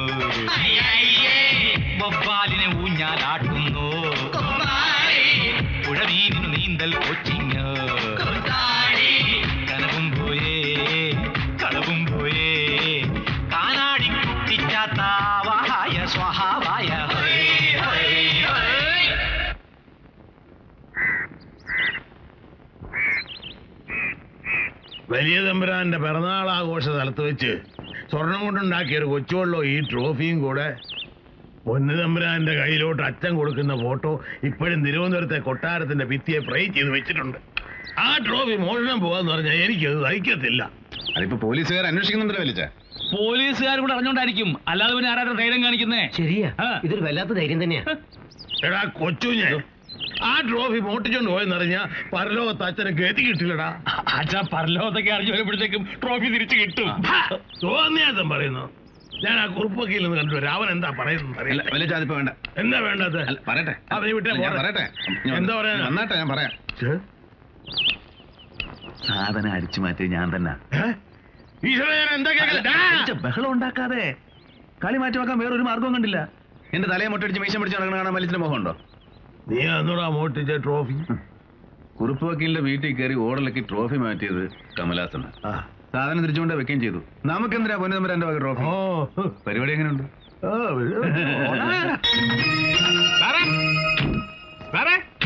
ട്രോഫി കിട്ടി. ട്രോഫി കിട്ടിയെന്ന്. എവിടെന്ന്? എടാ ബാലു ഒന്നും പറയണ്ട. ഞങ്ങൾ ഇവിടുന്ന് പിരിഞ്ഞ് വീട്ടിൽ ചെന്നില്ല. അന്നേരം ഇയാൾ ഇതും താങ്ങി പിടിച്ച് ഓടിക്കഥ കയറി വന്നിരിക്കുന്നു. ഉറുപ്പോക്കിൽ വീട്ടിൽ കൊണ്ടുവന്ന് ആരണ്ടോ അച്ചിട്ട് പോയി. തൊലച്ചല്ലോ. നാളെ കോട്ടയത്ത് നായെ കൊണ്ടുവന്ന് മണം പിടിച്ച് അന്വേഷിക്കാനിരിക്കായിരുന്നു ചേടാ വീട്ടിൽ ആരും ഇല്ലാത്ത സമയത്ത് ഈ കോപ്പ് തിരിച്ചെവിടെ കൊണ്ടുപോകും ഞങ്ങൾ ആരെങ്കിലും പറഞ്ഞു ഇത് അവന്മാരാ മാറ്റിയത്. വള്ളംകളി മുടക്കാൻ വേണ്ടി. കളക്ടർ തറഞ്ഞ ആകെ ചൂടില്ല. ഇനി എന്തായാലും ഈ വർഷം വള്ളംകളി നടത്താൻ പുള്ളിക്കാരെ സമ്മതിക്കുമെന്ന് തോന്നുന്നില്ല. ആകെ കഷ്ടമായല്ലോ. കച്ചിയിലെടുത്തുകാരെ മൂക്കുകൊണ്ട് ഇക്ഷ എണ്ണാന്ന് എഴുതിപ്പിക്കാൻ ഈ കുറുപ്പ് ചില വിദ്യകളൊക്കെ കണ്ടു വെച്ചിട്ടുണ്ട്. അതെന്തോന്നേ ഇതുപോലെ പാരയാകുന്ന വല്ലതുമാണോ എടോ തന്റെ ബുദ്ധി കേട്ടിറങ്ങിയത് എല്ലാം എനിക്ക് പാരയായിട്ടേ ഉള്ളൂ. ഈ വള്ളംകളി ഇനത്തിൽ എന്തുമാത്രം പണം എന്റെ വെള്ളത്തിലായെന്ന് തനിക്കറിയാവോ? വേലിപ്പിള്ളേ ഇത് നമ്മൾ അഞ്ച് കാശ് പോലും ചെലവാക്കണ്ട. വെറുതെ കൈയും കെട്ടി നോക്കി നിന്നാ മതി. സാറ് പോവുകയാണോ? വള്ളംകളി കാണാൻ വന്നിട്ട് കയ്യാങ്കളി കണ്ട് മടങ്ങുക അല്ലേ സാറേ? അറിയില്ലേ? നമ്മുടെ ചന്ദ്രോത്തെ ശിവരാമ സാറിന്റെ അമ്മാവനാ. മൈസൂരായിട്ടായിരുന്നു കോട്ടയത്ത്. ഞാനറിയും ഞാനൊരു പ്രാവശ്യം കോട്ടയം നമസ്കാരം. കൊച്ചുഞ്ഞല്ലേ അതെ. ഞാൻ രാഘവൻ നായർ ചന്ദ്രോത്തെ. ഇന്നലത്തെ ട്രോഫിയും പ്രശ്നങ്ങളൊക്കെ തീർന്നോ?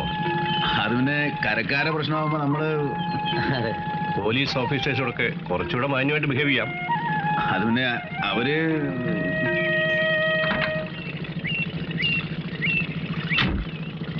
ഇതെന്റെ മകൾ അംബിക. ഹലോ.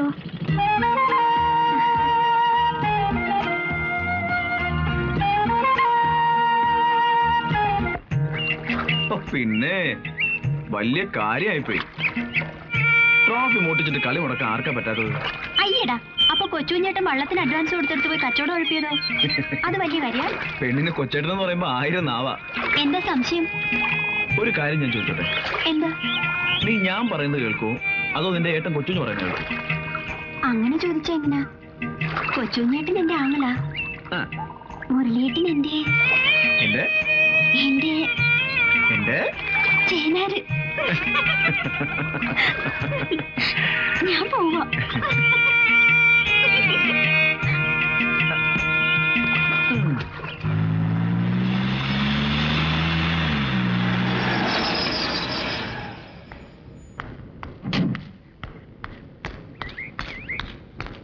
എന്താ എന്ത് പറ്റി?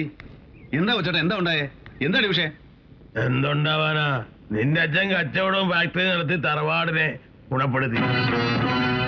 ഉള്ളതെല്ലാം വിറ്റ് പെറുക്കി പെരുവഴിയിലോട്ട് ഇറങ്ങാനി എന്താ ഉണ്ടായെന്ന് തെളിച്ചു പറ കൊച്ചേട്ടാ. കാര്യം എന്താണെന്ന് വെച്ചാ നമ്മുടെ സതീശൻ ആലപ്പുഴ ബാങ്കിൽ ഇരുന്ന കാലത്ത് വാസുകുട്ടൻ അവനെ കൊണ്ട് മൂന്ന് നാല് ലോണുകൾ പാസ്സാക്കിച്ചു.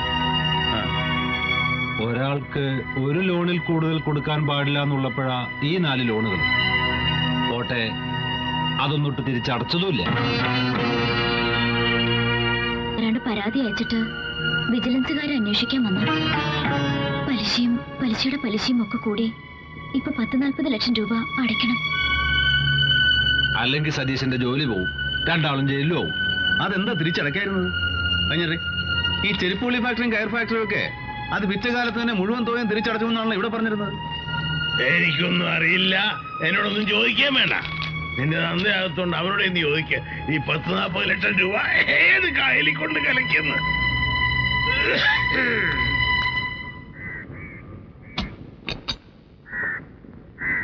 ഇതെന്താ ഇത്? ആരെന്തിനു വേണ്ടി എടുത്താ ഇതൊക്കെ? ഈ എടുത്തതൊക്കെ ഞാൻ തന്നെയാ. എന്നിട്ട്? എന്നിട്ട് നഷ്ടം കൂടിയപ്പം പൂട്ടി പൂട്ടി എന്നിട്ട് ഇതിന്റെയൊക്കെ പണം അടയ്ക്കായിരുന്നു ഇത്രയും കാലം? അടച്ചു. വിറ്റും പെറുക്കിയും കടം മേടിച്ചും കൃത്യമായിട്ട് ഞാൻ ആ നായരുടെ പണം കൊടുത്തിരുന്നതാ. അവൻ അവൻ ചതിക്കുകയായിരുന്നടാ. നായർ ചതിച്ചാലും നായരുടെ തന്ത ചതിച്ചാലും ഈ വരുന്ന പതിനഞ്ചാം തീയതിക്കകം പണം കൊടുത്തില്ലെങ്കിൽ ആ പാവം സതീശന്റെ ജോലി പോകും രണ്ടുപേരും അഴിയണേണ്ടി വരും. ഈ പണമൊക്കെ ആര് തന്നു? ആര് ചെലവാക്കി? നഷ്ടത്തിലായ ചെരുപ്പുപുളി ഫാക്ടറി മിഷനൊക്കെ വിറ്റു എന്ന് പറഞ്ഞില്ലേ? ആകാശ് കാശ് എവിടെ? എന്നോടൊന്നും ചോദിക്കരുത്. പിന്നെ ആരോടാ ചോദിക്കേണ്ടത്? ഒരിടം കിടപ്പാടം കൂടെ എഴുതി വെച്ചാൽ ഈ തോവ് കൊടുത്തെടുക്കാൻ പറ്റില്ല. പെങ്ങന്മാരുടെയും മരുമക്കളുടെയും വീതം കൊടുത്തു കഴിഞ്ഞാൽ ഇവിടെ പിന്നെ ആളോഹരി എന്നാ കിട്ടുമെന്നാ വിചാരം? അച്ഛൻ ആർക്കെങ്കിലും പണം കടം കൊടുത്തിട്ടുണ്ടോ? കൊടുത്തിട്ടുണ്ടോ? ആ ആ നായര് പലപ്പോഴായി കുറച്ച് വാങ്ങിയിട്ടുണ്ട്. അതിന് വല്ല കണക്കോരയൊക്കെ ഉണ്ട്? കണ്ണടച്ച് അവനെ അങ്ങ് വിശ്വസിച്ചു പോയതാ. അവൻ ഇങ്ങനെ ചെയ്യുമെന്ന്. അച്ഛൻ എന്ത് വർത്തമാനം ഈ പറയുന്നത് ഇതൊന്നും രണ്ടും ഇവിടെ കാര്യമല്ല. ഞാൻ എന്ത് ചെയ്യണോ നീ പറയാ. എന്നോട് ചോദിച്ചിട്ടില്ല ഇതൊന്നും ചെയ്തത്. എനിക്കൊന്നും അറിയില്ല. ഇവിടെ ഉള്ളവരുടെ കാര്യം പോട്ടെ. നീലേക്ക് കയറിയോ പെരുവഴിയിൽ ഇറങ്ങുക എന്ത് വേണേ ചെയ്യാം. പക്ഷെ ആ സതീശന്റെ കാര്യോ അവൻ കുഞ്ഞുകുട്ടി പരാതിനക്കാരനാ. കൊച്ചുനേട്ടാ വരൂ. വല്യച്ഛൻ വിളിക്കുന്നു. എനിക്ക് പാരം കാണണം. കൊച്ചുനേട്ടൻ വന്നേ. വരാൻ. ഞാനല്ലേ പറയുന്നേ? എന്തിനാ വെറുതെ? വാസു കൊച്ചേട്ടനെ വല്യച്ഛൻ ഒത്തിരി ചീത്ത പറഞ്ഞിട്ടിരിക്ക. ഇനി വേണ്ട. മതി.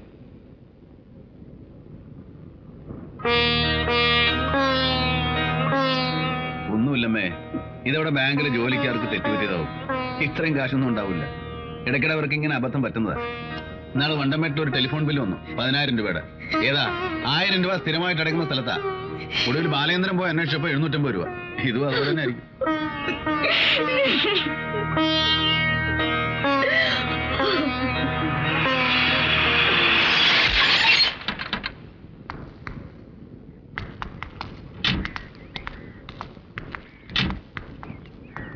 വാസുകുട്ടൻ മാമൻ ഇങ്ങനെ ചതിക്കുമെന്ന് ഞാൻ സ്വപ്നത്തിൽ പോലും പ്രതീക്ഷിച്ചില്ല.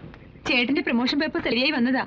അത് ഈ ജന്മം നോക്കേണ്ടതാ. ബാങ്കിൽ എല്ലാരും പറയുന്നത്. ഈ പണമൊക്കെ അച്ഛൻ എന്നാ കാണിച്ചെന്നാ എനിക്ക് മനസ്സിലാകാത്തത്.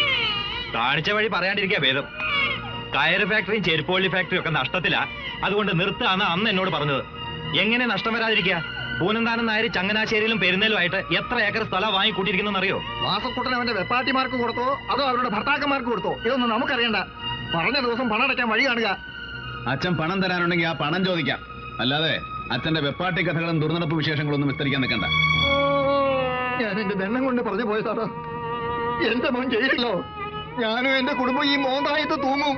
വേണ്ട ആരും തൂങ്ങാൻ നിൽക്കണ്ട. അകത്തേക്കല്ലേ അവൻ വാങ്ങിയ മുതലാണെങ്കിൽ തിരിച്ചു തരും. ഏ ചെല്ലാത്തേക്ക്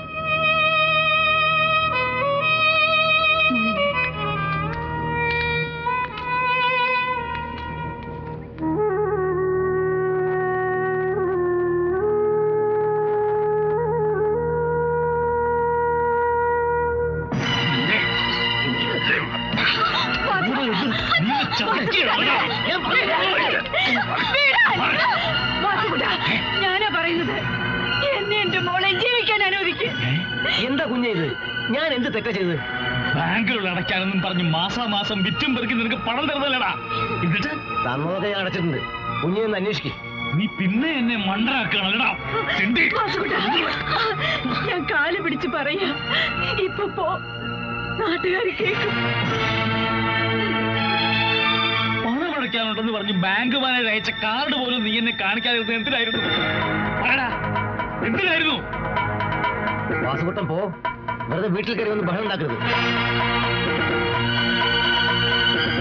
പ്രായമായ ഒരു പെൺകുച്ചുള്ള വീടായത് ഈ ചതി മഞ്ഞിനൊന്നും ആദ്യം കുടുംബസ്വത്തല്ല. എന്നോടാവെങ്കിൽ എനിക്കും ആവാം. ഈ കൂനന്താനം നായര് അറിഞ്ഞുകൊണ്ട് ചതിക്കുകയായിരുന്നു എന്ന് വീട്ടിൽ ചെന്ന് വിക്രമൻ കുഞ്ഞിനോടും ഈശ്വരിയമ്മയോടും പറഞ്ഞേക്ക്.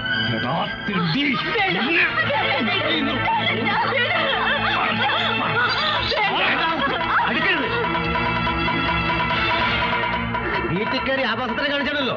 വെട്ടിയടി ഞാൻ കായൽ താഴ്ത്തും. ഇറങ്ങി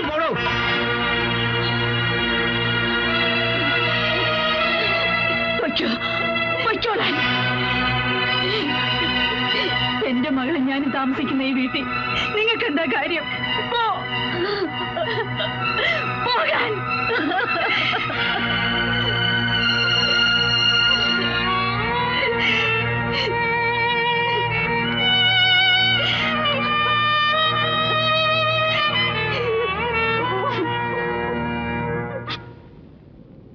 എന്തിനുള്ള പുറപ്പാടാ നിങ്ങൾ? എന്തിനുള്ള പുറപ്പാടാണെന്ന്? അതൊക്കെ ഇപ്പൊ എന്തിനാ നീ അറിയുന്നത്? നീ അറിയേണ്ട കാര്യങ്ങൾ വരുമ്പോ നിന്നോട് പറയും. ഇപ്പൊ നീ പോയി ചോറ് ഇല്ല. ഞാൻ സമ്മതിക്കില്ല. ആ പാവപ്പെട്ട മനുഷ്യനെ ചതിക്കാൻ ഞാൻ സമ്മതിക്കില്ല.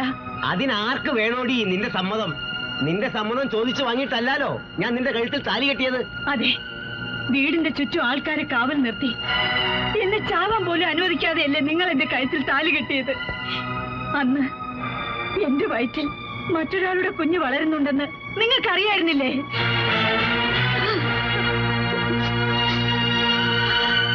കഴുത്തിലിട്ട കല്യാണമാല വാടും മുമ്പേ പിന്നെ അയാളെ നിർബന്ധിച്ച് എന്റെ മുറിയിലേക്ക് പറഞ്ഞു വിട്ടത് നിങ്ങളല്ലേ? മറ്റൊരുത്തിന്റെ കുഞ്ഞ് വയറ്റിലുണ്ടെന്ന് അറിഞ്ഞിട്ടും നിന്നെ കെട്ടാൻ ഞാൻ സമ്മതം മൂടിയത്. നിന്റെ സൗന്ദര്യം കണ്ടിട്ടോ? തച്ചിനെടുത്തുകാരൻ മാനം രക്ഷിക്കാനും അല്ലായിരുന്നു. എന്തിനായിരുന്നെന്ന് എനിക്കറിയാം. അറിയാലോ? തച്ചിനെടുത്ത കാരണവർ എനിക്ക് വെച്ച് നീട്ടിയ മുതലും പണവും കണ്ടിട്ട് തന്നെയാ. അന്ന് നിന്നെ കെട്ടാൻ ഇഷ്ടമാണോന്നല്ല തച്ചിനെടുത്ത കാരണവർ എന്നോട് ചോദിച്ചത്. നായരെ തനിക്ക് ഞാനൊരു കല്യാണം തീരുമാനിച്ചു. കഴിഞ്ഞുകൂടാനുള്ള മുതലും പണവും തരാന്ന്. അന്ന് ഞാൻ ഒന്ന് തീരുമാനിച്ചു. മാനം വിറ്റ് പണം ഉണ്ടാക്കിയാൽ പണം കൊടുത്ത് മാനം ഉണ്ടാക്കാന്ന്. പണം ഉണ്ടാക്കി ഞാൻ. അതിന്റെ പേരിൽ തച്ചയടത്തുകാർ പെരുവഴിയിൽ ഇറങ്ങിയാൽ എനിക്കൊരു ചുക്കുമില്ല. പക്ഷേ എന്നെ എതിർക്കാൻ നോക്കിയാലുണ്ടല്ലോ. തള്ളയും മോളെ ഞാൻ കൊന്ന് കായൽ താഴ്ത്തും.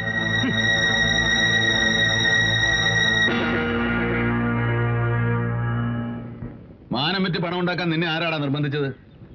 കൂടെ കൂടിയെന്ന് എന്റെ അച്ഛനെ ചതിച്ചിട്ട് അതിനൊരു പഴങ്കഥയുടെ ന്യായീകരണം പറയുന്നു. നിനക്കെന്റെ തറവാട് മുടിക്കണമല്ലടാ തച്ചിലിടത്ത് എച്ചിൽ നക്കി തിന്ന നാവിന്റെ നനവ് മാറുമ്പം വല്ലടാ. ആ നാവ് വിളച്ച് അന്നം തന്ന തറവാട് മുടിപ്പിക്കുമെന്ന് പറഞ്ഞത്. പത്ത് ദിവസം പത്ത് ദിവസം നിനക്ക് ഞാൻ തരും. അതിനു മുമ്പ് എന്റെ അച്ഛനെ പറ്റിച്ചുണ്ടാക്കിയ കാശ് കെട്ടിപ്പെറുക്കി ആ കാൽ കീഴിൽ കൊണ്ട് വെച്ചില്ലെങ്കിലുണ്ടല്ലോ. പിന്നെ ഞാൻ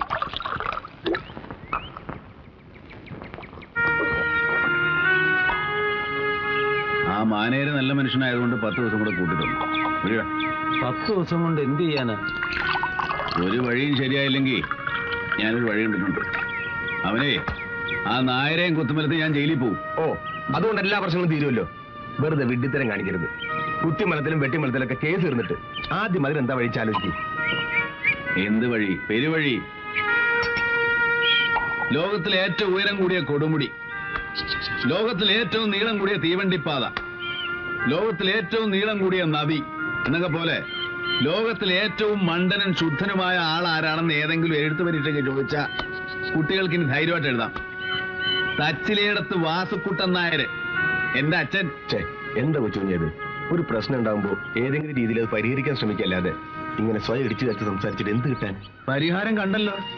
ഇന്നലെ ബോംബെ നിന്ന് സുഭാഷിന് ചിറ്റയുടെ കത്ത് വന്നു. നീ അറിഞ്ഞില്ലടാ സാർ? കത്ത് വന്നു എന്നറിഞ്ഞു എന്താ കത്തിലെ വിവരവും അറിഞ്ഞില്ല എങ്കി അറിഞ്ഞോ? അച്ഛന്റെ നേർബങ്ങൾ ഒരേ ഒരു ആങ്ങളൊക്കെ ഒരു പിടിപ്പുകേടുണ്ടായെന്ന് പറഞ്ഞ് കത്തയച്ചപ്പോ ചിറ്റയുടെ പേരുള്ള ആറേക്കർ നിലം വെക്കാൻ ആളുണ്ടാക്കിക്കോ ഞങ്ങൾ വിഷുവിന് വരുന്നുണ്ടെന്ന്. അച്ഛനെ അറസ്റ്റ് ചെയ്താലെന്ത്? സതീശന് ജോലി പോയാലെന്ത്? ഈ ബന്ധവും സ്വന്തം എന്നൊക്കെ പറയുന്നതിൽ ഒരു കാര്യമില്ല ബാലേന്ദ്ര. നീ അറിഞ്ഞോ? ഈ വിവരം അറിഞ്ഞ ഇവന് ഈ കമലാസൻ അവന്റെ വീടിരിക്കുന്ന ഇരുപത് സെന്റ് സ്ഥലത്തിന്റെ ആധാരമായിട്ട് രാത്രി വീട്ടിൽ കയറി വന്നു. ഇവനെന്താ എന്നോടും എന്റെ കുടുംബത്തോടും ഇത്ര കൊച്ചുമേ താൻ ഇങ്ങനെ മോശമായിട്ട് എന്താ കാര്യം? ഇനി കുറച്ച് ദിവസം കൂടെ ഉള്ളൂ പണം അടയ്ക്കാൻ. വീടും പറമ്പും വെക്കുക. അതിനിപ്പോ ആരോടും ചോദിക്കണ്ട. അത് അച്ഛന്റെ വീട്ടിലുള്ളതാ. എന്നിട്ട് തച്ചിലകത്ത് വിക്രമൻ നായരും കുടുംബവും പെരുവഴിയിൽ ഇറങ്ങും സ്നേഹിച്ച പെണ്ണിനെ മറക്കാൻ മനസ്സ് കാണിക്കാത്ത വിശാല മനസ്കനായ എന്റെ അച്ഛന് പറ്റിയ ദയനീയമായ പരാജയം. ഒരു പാഠം പഠിച്ചോ? എല്ലാരും ആരെയും സ്നേഹിക്കരുത്. ആരെയും വിശ്വസിക്കരുത്. അഥവാ വിശ്വസിച്ചാൽ തന്നെ സ്വന്തം തടി കേടാവുന്നു തോന്നുമ്പോൾ ഊരിച്ചോടം. ഈശ്വരന്മാരൊന്നും എന്റെ അമ്മയുടെ പ്രാർത്ഥന മൈൻഡ് ചെയ്യുന്നില്ല എന്ന് എനിക്ക് തോന്നുന്നു അച്ഛന്റെ സൽബുദ്ധിക്ക് വേണ്ടി പ്രാർത്ഥിക്കാത്ത ഒരു ദിവസം പോലും എന്റെ അമ്മയുടെ ജീവിതത്തിൽ ഉണ്ടായിട്ടില്ല. എന്നിട്ടും എന്റെ അമ്മയുടെ കണ്ണീരൊപ്പം ഒരു ദൈവം ഉണ്ടായില്ല. എന്തിനാ ഈ മകൻ പോലും ഉണ്ടായില്ല? ഒഴിക്കടാ. കൊച്ചുകുഞ്ഞെ കുടിച്ചത് മതി. ഏ ഒരു കുഴപ്പമില്ല ബാലേന്ദ്ര. വേണ്ട, നമുക്ക് പോകാം. ഏ കുഴപ്പമില്ല? വേണ്ട ബാലേന്ദ്ര.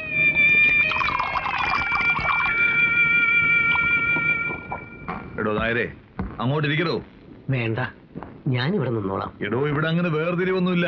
താൻ ധൈര്യമായിട്ടിരിക്കെ താൻ എന്തിനായി പേടിക്കുന്നേ? ഞങ്ങളൊക്കെ ഇല്ല ഇവിടെ? തന്നെ ഇവിടെ ആരും ഒരു ചുക്കും ചെയ്യില്ല.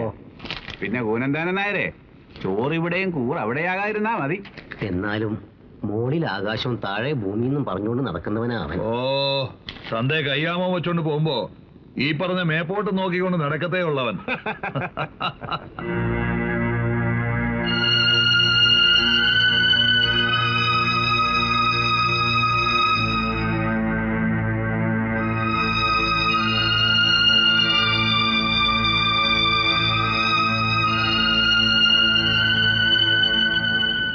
പ്രശ്നങ്ങളൊന്നും എനിക്ക് അറിയാഞ്ഞിട്ടല്ല. ഞാൻ എന്താ ചെയ്യാ? എനിക്ക് രണ്ട് പെൺകുട്ടികളാ. പണി പോകുന്ന അവസ്ഥ വല്ലതും ഉണ്ടായ? കുട്ടികൾക്കും ഭാര്യയ്ക്കും വിഷം മേടിച്ചു കൊടുത്തിട്ട് ഞാനും ചാവും. എന്താ ഇത്? ഇനി ആ വാക്ക് ഇവിടെ ഉണ്ടരുത് ചാവുന്നെങ്കിൽ എല്ലാവരും കൂടെ ഒന്നിച്ച് ചാവും. നീ നിന്റെ കുടുംബം ചെന്നിട്ട് ഞങ്ങളോട് സുഖമായിട്ട് കഴിയൂ നീ കാടയിലും പടപ്പേലും തല്ലാതെ കാര്യം അങ്ങ് പറ. അച്ഛൻ ദേഷ്യപ്പെടരുത്. മറ്റൊരു വഴിയും കാണാനിട്ടാ. വേണ്ട പിന്നെ മോര എടീ മനസ്സിലായി. തലമിക്കുന്ന കാര്യല്ലേ അത് വളരെ എളുപ്പമാ. അച്ഛൻ എന്താ ഒരുമാതിരി ശത്രുക്കളോട് സംസാരിക്കുന്ന പോലെ. മനസ്സിന്റെ സന്തോഷം കൊണ്ട്. എന്താ? സന്തോഷം തോന്നാതിരിക്കോ? പുരാണത്തിലെ ഗംഗാധത്തിനെ പോലെ സ്വച്ഛന്ത മരണത്തിനായിട്ട് ഉത്തരായണം കാത്ത് കിടക്കല്ലേ? എന്നാണോ അവിടുന്ന് വിളിക്കുന്നേ? അതിനിടെ എന്തെല്ലാം കാണണം? എന്തെല്ലാം കേൾക്കണം. ആ പറ. പരിഹാരം എന്താണെങ്കിലും പറ. ഇവിടെ ചന്ദ്രത്ത് ദിവാകരന്മാരുടെ ഒരു അനന്തരവൻ. പെരുന്നേൽ പുഴവാതിൽ താമസിക്കുന്നുണ്ടല്ലോ. ഒരു ജില്ലാ മജിസ്ട്രേറ്റ് അയാളുടെ മകൾ ഇവിടുത്തെ കാര്യങ്ങളൊക്കെ അറിഞ്ഞുകൊണ്ട് ഇങ്ങനൊരു ബന്ധത്തിന് മനസ്സ് വെച്ചാ അതൊരു ചെറിയ കാര്യമാണോ? അയ്യോ അല്ല. മഹത്തായ കാര്യമല്ലയോ? ഇതാ പറഞ്ഞത്. അച്ഛന് ഞാൻ ഈ പറയുന്നത് ഇഷ്ടാവില്ലെന്ന്. ഇല്ലടി നീ പറഞ്ഞോ? പത്തൊൻപത് കൊല്ലമായിട്ട് ശീലിച്ചു പോകുന്ന ഒരു രീതിക്ക് ഞാനങ്ങ് പറഞ്ഞു പോയതാ. ഉഴക്കരിക്ക് ഗതിയില്ലാത്ത കാർന്നൂരാണെന്ന കാര്യം ഞാൻ അങ്ങ് മറന്നുപോയി. ആ നീ ഇത് അവരോട് പറഞ്ഞോ? എത്ര രൂപ എന്ന് സഹായിക്കാമെന്നാ പറയുന്നേ? അവരങ്ങനെ സഹായിക്കാവുന്ന രീതിക്കല്ല പറഞ്ഞത്. അത് ഞാനായിട്ട് പറഞ്ഞതാ. ആ അപ്പൊ സഹായം തന്നെയാണല്ലോ.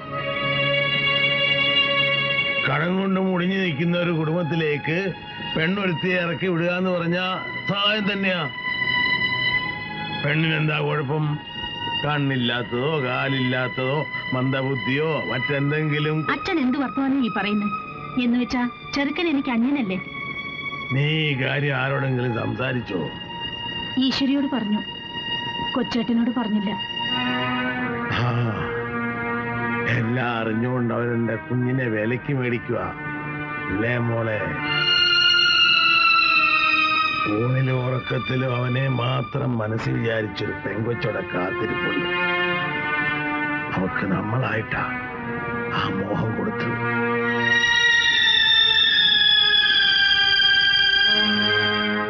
അവളോട് ആര് പറയും? കൊച്ചുഞ്ഞിനോട് ആര് പറയും?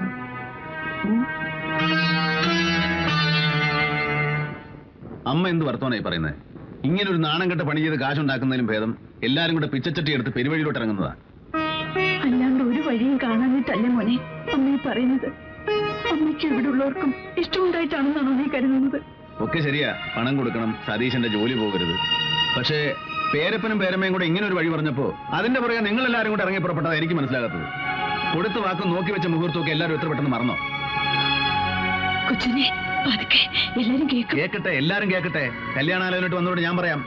പെരുന്നക്കാരൻ ഒരു മൈസൂട്ടിന് മകൾ ഇങ്ങനെ ഒരു കല്യാണത്തിന് സമ്മതിച്ചില്ലായിരുന്നെങ്കിൽ എന്ത് ചെയ്യുമായിരുന്നു എല്ലാരും? അതൊന്ന് ആലോചിച്ച് നോക്കിയേ. വിൽക്കാം കിടപ്പാടം വിൽക്കാം.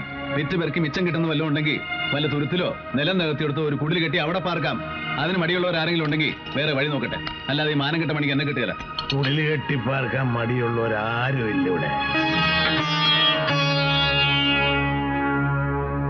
ഏത് വസ്തു വിൽക്കുന്ന കാര്യമാണ് ഈ പറയുന്നേ? നിന്റെ അച്ഛന്റെ ഭാഗമാണെങ്കിൽ അത് നടക്കത്തില്ല. ആധാരം ആലപ്പുഴ സേട്ടുമാരുടെ അലമാരിയില്ല സരോജത്തിന്റെ ഭാഗം വിറ്റോന്നും പറഞ്ഞ് കത്ത് വന്നു പക്ഷെ നീ പറയുന്ന പത്ത് ദിവസത്തിനകം പകർപ്പാധാരം കിട്ടത്തില്ല. പകൽ മുഴുവൻ വില്ലേജ് ഓഫീസിന്റെയും പ്രവർത്തിയുടെ ആഫീസിന്റെ മുമ്പിൽ തെണ്ടുകാരുന്നു ഞാൻ. നിനക്കിഷ്ടമില്ലാത്ത കാര്യത്തിന് ഇവിടെ ആരും നിർബന്ധിക്കുന്നില്ല. തറവാട്ട് മുറ്റത്ത് നിർത്തിനെ കയ്യാമം വെച്ചുകൊണ്ട് പോകുന്ന കണ്ടിട്ട് മരിക്കാനാണ് വിധിയെങ്കിൽ അത് നടക്കട്ടെ വിളിച്ച അതല്ല ഞാൻ പറഞ്ഞത്. നീ പറഞ്ഞതൊക്കെ ശരിയാ. ഒരിക്കൽ ഒരുത്തൻ ഇഷ്ടപ്പെട്ട പെണ്ണിനെ കെട്ടാൻ ഒരുങ്ങിയ എതിർത്തതിന്റെ ഫലമാ ഇപ്പൊ ഈ അനുഭവിക്കുന്ന മുഴുവൻ. അതിന്റെ പേരിൽ ഇവൾ ഒഴിക്കുന്ന കണ്ണുനീര് എന്റെ നെഞ്ചിലാ വീഴുന്നേ. നിനക്കറിയുമോ?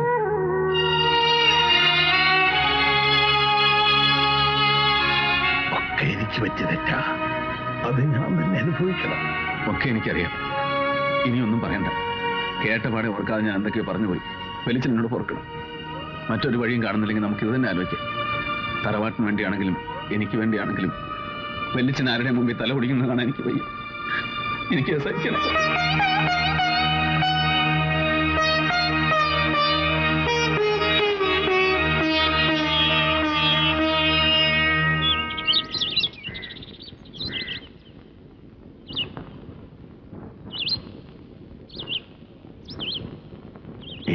ഒരു ആലോചനയെ കുറിച്ച് ഭവാനി പറഞ്ഞപ്പോ ഞാനൊന്നും മറുപടി പറഞ്ഞില്ല. നിന്നോട് പറയാണ്ട് എനിക്കൊന്ന് തല ഉൽക്കാൻ പോലും പറ്റില്ലല്ലോ. പറയാണ്ടല്ല നിന്നെ മോടിയും കാൽ പിടിച്ച് ക്ഷമ പറയാണ്ട്. എന്താ കൊച്ചേട്ടാ ഇത്? അന്യരോട് സംസാരിക്കുന്ന പോലെ. തച്ചിലെടുത്ത സ്ഥിതിയൊക്കെ എനിക്കറിയില്ലേ? എന്നാലും ഉഷമോൾ ലോവർ പ്രൈമറി ക്ലാസ്സിൽ പഠിക്കുന്ന കാലം തൊട്ടേ നമ്മൾ അവളെ മോഹിപ്പിച്ചിട്ടുള്ളതല്ലേ? നീ കൊച്ചുഞ്ഞിന്റെ പെണ്ണ കൊച്ചുഞ്ഞിന്റെ പെണ്ണാന്ന് പറഞ്ഞു. എങ്കിൽ പിന്നെ എന്തിനു വൈ അവിടെ പോയി ഉറപ്പിച്ചൂടെ? ബാങ്കുകാരോട് പറഞ്ഞ അവധി തീരാൻ ഇനി എട്ട് പത്ത് ദിവസം കൂടിയല്ലേ ഉള്ളൂ.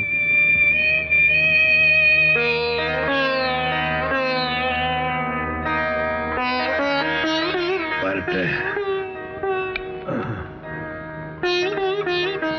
മോളെ.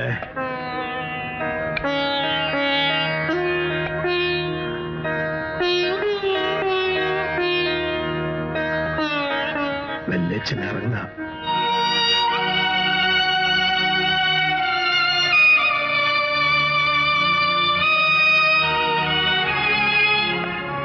എന്തെങ്കിലും ഒന്ന് പറ മോളെ.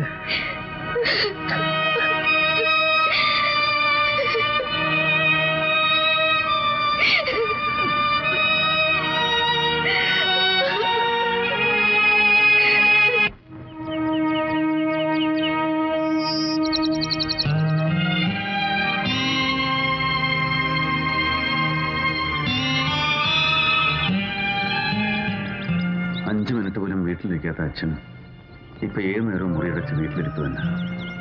ആരൊക്കെ കുറ്റപ്പെടുത്തിയാലും പള്ളു പറഞ്ഞാലും കൊച്ചുഞ്ഞേട്ടിനൊന്നും പറയരുത്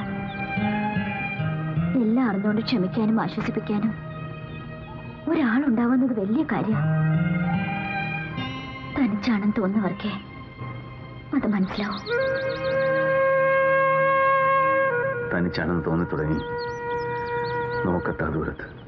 ആരുമില്ലാതെ തനിച്ച്. ഒന്നുമില്ല. ഒക്കെ തന്നെ അങ്ങോട്ട് തീരുമാനിച്ചുറക്കിയല്ലേ കുടുംബവും കുട്ടികളൊക്കെ ആയി കഴിയുമ്പോ എല്ലാം മാറും. അന്ന് ഓർക്കുമ്പോ ഇതൊക്കെ ഒരു തമാശ കഥ. എന്നാ പെണ്ണാണ് പോന്നെ? ഞാനും കൂടി വരട്ടെ. ചെറുക്കന് പേരും മറ്റും ചോദിക്കാൻ നാണോ ആണെങ്കിൽ ഞാൻ ചോദിക്കാം. ബന്ധുക്കളായിട്ടുള്ള പെൺകുട്ടികളെ കൂടെ വരുന്ന ഒരു നാട്ടു നടപ്പുണ്ടല്ലോ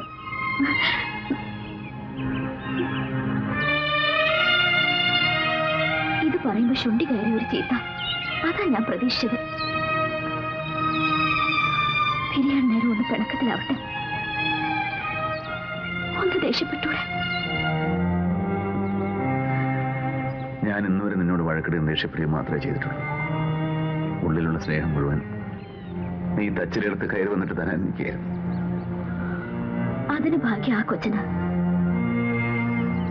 എനിക്ക് വിഷമമല്ല. അടുത്ത ജന്മം ഞാൻ കൊച്ചുനാട്ടിന്റെ പെണ്ണായി ജനിച്ചോളാം.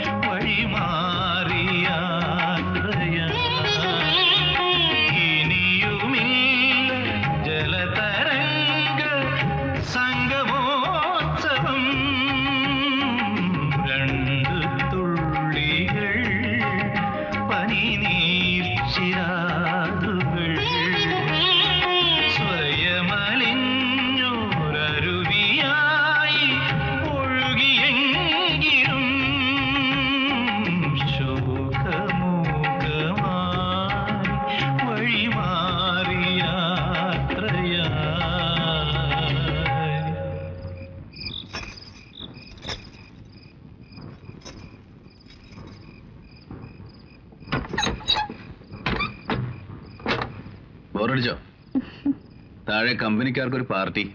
അവിടെ വന്ന് മുഖം കാണിച്ച് പറയേണ്ടി വന്നു. വൈകില്ലല്ലോ. നമ്മളിപ്പോ ബോട്ടിൽ വന്ന കായലിന്റെ പേരെന്താ? പുന്നമട കായൽ. ഈ കായലല്ലേ വള്ളംകളി നടക്കുന്നത്? അതെ. നല്ല എക്സ്പീരിയൻസ് ആയിരുന്നു ഇന്നത്തെ കായലിലൂടെയുള്ള ജേണി ഇരുപുറവും നോക്കത്താ ദൂരം ടിൻഡു ബ്ലൂ നിറമുള്ള കായൽ. അംബികയ്ക്ക് കായൽ അത്രയ്ക്ക് ഇഷ്ട? ഇഷ്ടമാണ്. പക്ഷെ അതിന്റെ കത്തിയുടെ കാണുമ്പോഴാ ചെളിയും കൊതുകും. ബോംബെയിലെ ഞങ്ങളുടെ ചിവേട്ടന്റെ ഫ്ലാറ്റ് കടലിന്റെ തൊട്ട് കരയിലാ. ജനാല തുറന്നിട്ട് എന്ത് രസാ? പക്ഷെ കടലിന്റെ കര ഇത്രയും ഡേട്ടിയല്ല തിരുമാല വന്ന് എപ്പോഴും ക്ലീൻ ചെയ്തോണ്ടിരിക്കും അയ്യോ ഞാൻ എടുത്തു തരാം അതാണല്ലോ അതിന്റെ ഒരു ഫോർമാലിറ്റി നീ പോടി പുല്ലേ. നിന്റെ ഒരു ഉപദേശം. എന്റെ കൊച്ചു കുഞ്ഞിന് ഈ ഗതികേട് വന്നല്ലോ. എങ്ങനെ കഴിച്ച കുടുംബമായത്? കമലാസൻ ഇവിടെ അടുത്തുള്ളതാണ് ഞാനിപ്പോ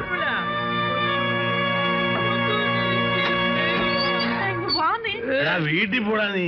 വാസു കൊച്ചേട്ടനെ ചതിച്ചും പറ്റിച്ചും പണം പിടുങ്ങിയെടുത്ത തെണ്ടിയുണ്ടല്ലോ. കൂലൽദാനൽ നായർ. അവന്റെ കൂടലും കമലാസൻ ചത്ത് കിടന്നാലും ചമച്ചു കിടക്കുന്നോടാ ദൈവം തമ്പുരാനെ വിചാരിച്ച് ഒന്നിങ്ങോട്ട് വാ മനുഷ്യ. നീ ആരാടി? നീ എന്നെ വിളിക്കാൻ. കമലാസന് ഉത്തമന്റെ ഷോപ്പിൽ മാനേജറാക്കാൻ ആളെ വിട്ട് വിളിപ്പിച്ചു. കമലാസൻ ചത്ത് പുള്ളേ ഛെ, കമലാസായത് എടാ വീട്ടിൽ പോടാ. നമുക്ക് നാളെ രാവിലെ എനിക്ക് സഹിക്കുന്നില്ല. ആ, ഉഷക്കുഞ്ഞിന്റെ കണ്ണീര് ഞാൻ ഇതിനെ കണ്ടു. നമ്മുടെ ഉഷക്കുഞ്ഞിന്റെ എന്റെ ചങ്ക് പൊട്ടിപ്പോയി. എല്ലാത്തിനും ചേട്ടാ,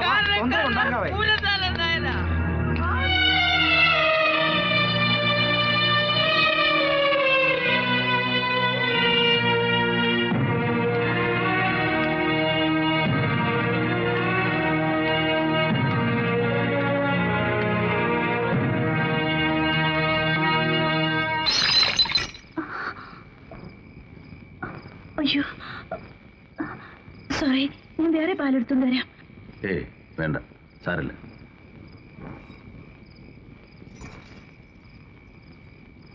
ഈ ബഹളമൊക്കെ ഉണ്ടാക്കിയ ആൾ കൊച്ചുങ്ങേട്ടന്റെ ഫ്രണ്ടാ ഫ്രണ്ട് കൊള്ളാലോ. കേട്ടിട്ടില്ലാത്ത ചില പുതിയ കഥാപാത്രങ്ങളുടെ പേര് പറഞ്ഞു കേട്ടല്ലോ. ആരൊക്കെ അവർ? ഒരു ഉഷ പിന്നെ ഉത്തമൻ എല്ലാരും ഇപ്പൊ തന്നെ പരിചയപ്പെടണമെന്നുണ്ടോ? നാളെ കാലത്തായാലും പോരെ. മതി ഞാൻ ചോദിച്ചതേ ഉള്ളൂ.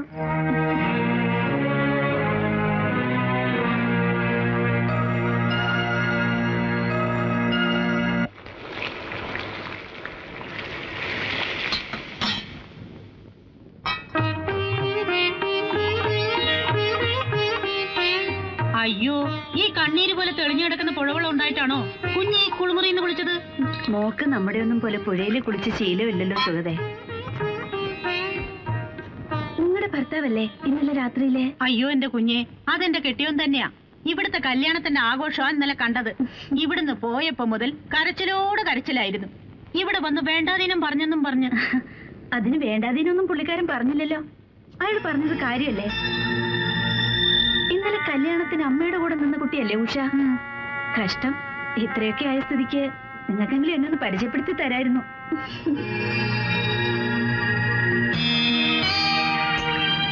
ഞങ്ങൾ ഇവിടെ നാലാം ക്ലാസ്സിൽ പഠിപ്പിച്ചിരുന്ന ഒരു ശങ്കരപ്പിള്ള സാറുണ്ട്. സാർ എപ്പോഴും പറയും ഒരു കള്ളം പറഞ്ഞ് വിശ്വസിപ്പിക്കാൻ നാല് കള്ളങ്ങളുടെ പിൻബലം വേണം. ഞാനിപ്പോ ആ നാല് കള്ളങ്ങളെ കുറിച്ച് ആലോചിച്ചോണ്ടിരിക്കും അതൊക്കെ കൊച്ചുഞ്ഞിൽ ചുമ്മാ തോന്നണല്ലേ അല്ല ബാലേന്ദ്ര ഇന്നലെ അംബിക ചോദിച്ചു ആരാണി ഉത്തമൻ ആരാണി വിഷയം എന്നൊക്കെ. ഇന്നല്ലെങ്കിൽ നാളെ അവളും അറിയില്ല ഇവിടെ നിന്ന് പൂരവും ഒക്കെ ഒക്കെ അഡ്ജസ്റ്റ് ചെയ്യണം. എടുത്തുചാട്ടത്തിനൊന്നും പോകരുത്. ഏയ് ഒരു എടുത്തുചാട്ടവും ഇല്ല. എടുത്തുചാട്ടക്കാരനായ കൊച്ചുകുഞ്ഞ് എന്നേ മരിച്ചു. ഇപ്പോ ഭീമമായ ഒരു തുക സ്ത്രീധനമായി തന്ന ഭാര്യയോട് സ്നേഹവും കൂറും പുലർത്തുന്ന സാധു ശിശുപാലനായ കൊച്ചുകുഞ്ഞാണ് ഇനിയിപ്പോ അങ്ങനെയൊക്കെ മതി. ഇത്രയും കാലം കാടലേക്ക് നടന്നതല്ലേ. ഇനിയിപ്പോ നട്ടൽ വിളച്ച് ജീവിക്കുന്നതിന് സുഖം അനുഭവിക്കാം. താൻ ഇങ്ങനെ സ്വയം ഒന്ന് ആലോചിച്ച് കൂട്ടിയാലോ? ഹേ ഞാനൊന്നും ആലോചിക്കാറേ ഇല്ല. അതൊക്കെ എന്നെ നിർത്തി. ശരിയാ വരട്ടെ ഓക്കെ. താൻ ഇടയ്ക്ക് ഇറങ്ങണം കേട്ടോ. ആ. പിന്നെ നമ്മുടെ പണിക്കാർക്കല്ല എന്റെ ഭാഗം ഒരു പാർട്ടി. ശരി. ആ മാരിമത്തൂന് പാൻ ഷർട്ട് അവൻ എപ്പോഴും ചോദിക്കുന്നതാണ് ഓക്കെ.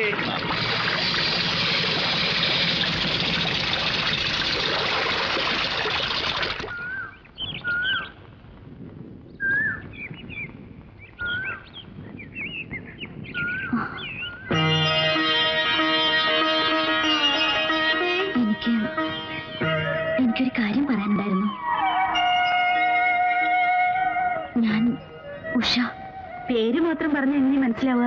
പറഞ്ഞോളൂ. നിങ്ങൾക്കറിയാം. എനിക്ക് എന്താ പറയാനുള്ളതെന്നും. ഞാൻ എന്താ പറയാൻ വന്നതെന്നൊക്കെ. പിന്നെ വെറുതെ ഇത് നല്ല തമാശയാണല്ലോ. ഞാൻ ഉഷയെ ആദ്യമായിട്ട് കാണുക ഉഷ എന്നെ. എന്നിട്ടും ഉഷയ്ക്ക് പറയാനുള്ളതൊക്കെ ഞാൻ മുൻകൂട്ടി കാണുക അറിയുക എന്നൊക്കെ പറഞ്ഞ അത്തരം മായാജാലൊന്നും എനിക്ക് വശമില്ല കേട്ടോ. കൊച്ചുകുഞ്ഞേട്ടനും ഞാനും തമ്മിൽ ഇഷ്ടത്തിലായിരുന്നു സത്യം. പക്ഷേ അതിനപ്പുറത്ത് അതിനപ്പുറത്തൊന്നും ഉണ്ടായിട്ടില്ല. കുട്ടി ഈ പറയുന്നതൊക്കെ ഞാൻ ഇതുവരെ അറിയാത്ത കാര്യങ്ങളാ. ഇതൊന്നും അറിയാൻ എനിക്കൊട്ട് താല്പര്യമില്ല. എനിക്കറിയാം. ഒക്കെ അമ്പയ്ക്ക് അറിയാന്ന്. എന്നെ കുറിച്ച് എന്തൊക്കെയോ സുഗതയോട് ചോദിച്ചല്ലോ. അതിന്റെ സത്യം പറയാൻ അതിനാ. അതിനാ ഞാൻ വന്നത്. ഫ്ലാഷ് ബാക്കിന്റെ കുപ്പത്തൊട്ടി തോണ്ടി തിരിഞ്ഞ് ഭർത്താവിന്റെ അഫയറുകൾ അന്വേഷിക്കുന്നത് എന്റെ നോട്ടത്തിൽ ഒരു ചീപ്പ് ഏർപ്പാടാണ് കഴിഞ്ഞതൊക്കെ കഴിയണം പറഞ്ഞതൊക്കെ മറക്കണം വിടർന്നതൊക്കെ കൊഴിയണം. It is an universal truth എല്ലാവരുടെയും കാര്യത്തിൽ.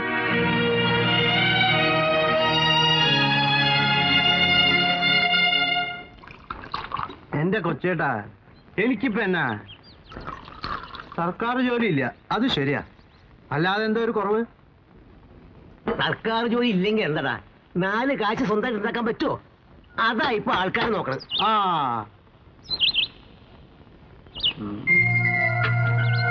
അങ്ങോട്ട് വളമ്പി കൊടുക്കടി.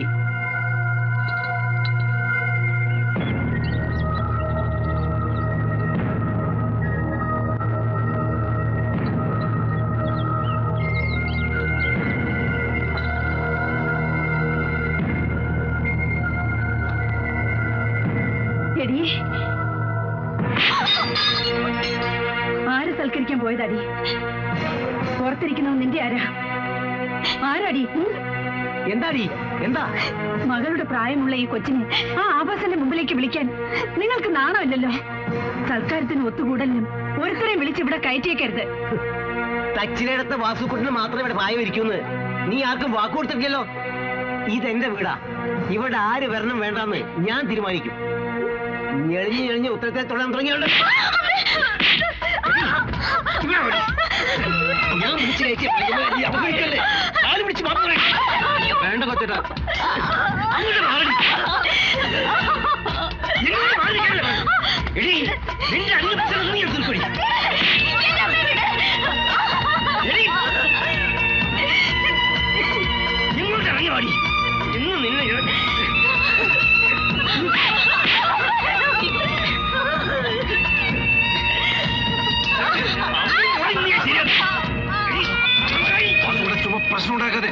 ഞാൻ പറയുന്നത് അവരോട് കുടുംബകാര്യം അടങ്ങി കഴിഞ്ഞോളെ രണ്ടും ഞാൻ പറയുന്നത്. വന്നേ. ഞാനാ പറയുന്നത്.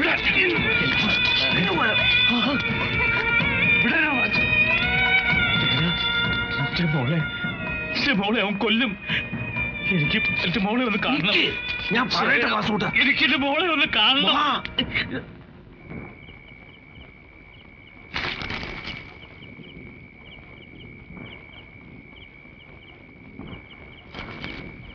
അശോകേട്ടാ. എന്താ വിളിച്ചത്? അശോകേട്ടാന്ന്. അങ്ങനെ വിളിക്കുമ്പോ അത് എന്നെയാണെന്ന് തോന്നാറേ ഇല്ല സ്കൂളിൽ പഠിക്കുന്ന കാലത്ത് ക്ലാസ് ടീച്ചർ ആര് വിളിക്കുമ്പോ അശോകൻ നായർ ഉണ്ടോ എന്ന് ചോദിക്കും. അപ്പോഴാണ് എനിക്ക് എന്റെ പേരാണെന്ന് ഓർമ്മ വരുന്നത്. നല്ല പേരല്ലേ അശോകൻ നായർ? എനിക്ക് പക്ഷെ കൊച്ചുകുഞ്ഞാനാണ് ഇഷ്ടം. ഓക്കെ എനിക്ക് മിസ്സിസ് കൊച്ചുഞ്ഞും. പോരെ. കൊച്ചുഞ്ഞേട്ടൻ പഠിച്ച സ്കൂൾ എവിടെയാ? ഇന്നലെ നമ്മൾ പോയ അമ്പലത്തിന് അപ്പുറത്ത് ആ, സ്കൂളിൽ പഠിച്ചപ്പോഴത്ത് ഫോട്ടോ വല്ലതും ഇരിപ്പുണ്ടോ? എടുക്കാൻ പറ്റിയില്ല. പത്താം ക്ലാസ് ക്ലാസ് കഴിഞ്ഞ് പിരിയുന്ന ദിവസം എല്ലാവരും കൂടെ ചേർന്ന് ഒരു ഫോട്ടോ എടുക്കൂലേ? ഗ്രൂപ്പ് ഫോട്ടോ അന്ന് ഞാൻ പോയില്ല. കൊയ്ത്ത് തുടങ്ങുന്ന ദിവസമായിരുന്നു. കഷ്ടം. എനിക്ക് അത്ര ഏട്ടന്റെ കുഞ്ഞുനാളിലെ ഫോട്ടോ കാണാൻ കൊതിയാവുന്നു. സ്കൂളിൽ പഠിക്കുമ്പോഴും ഈ ചട്ടമ്പിത്തിരൊക്കെ ഉണ്ടായിരുന്നോ? കൊള്ളാം. അന്ന് ഞങ്ങൾ ഒന്നാം കരക്കാരെന്ന് പറഞ്ഞൊരു ചട്ടമ്പി ഗ്യാങ് തന്നെ ഉണ്ടായിരുന്നു. ഞാനായിരുന്നു ലീഡർ വെള്ളിയാഴ്ച ദിവസം സ്കൂൾ വിട്ട് വരുമ്പോഴാണ് ഗ്യാങ്ങുകൾ നമ്മളുടെ ഏറ്റുമുട്ടൽ. അപ്പോ ശനിയും ഞായറും കൊണ്ട് ഇടിയുടെയും കുത്തിന്റെയും പാടൊക്കെ അങ്ങ് മായുമല്ലോ. പക്ഷേ കാലങ്ങളായിട്ടും പാടുമായത്ത ചില ഭീകരവത്തുകളും ഉണ്ടേ നാലാം ക്ലാസ്സിൽ പഠിക്കുമ്പോൾ കിട്ടിയ ഒരു കുത്തിന്റെ പാടായിരുന്നു ദേ, ഇവിടെ ഒത്തിരി മുറിഞ്ഞോ?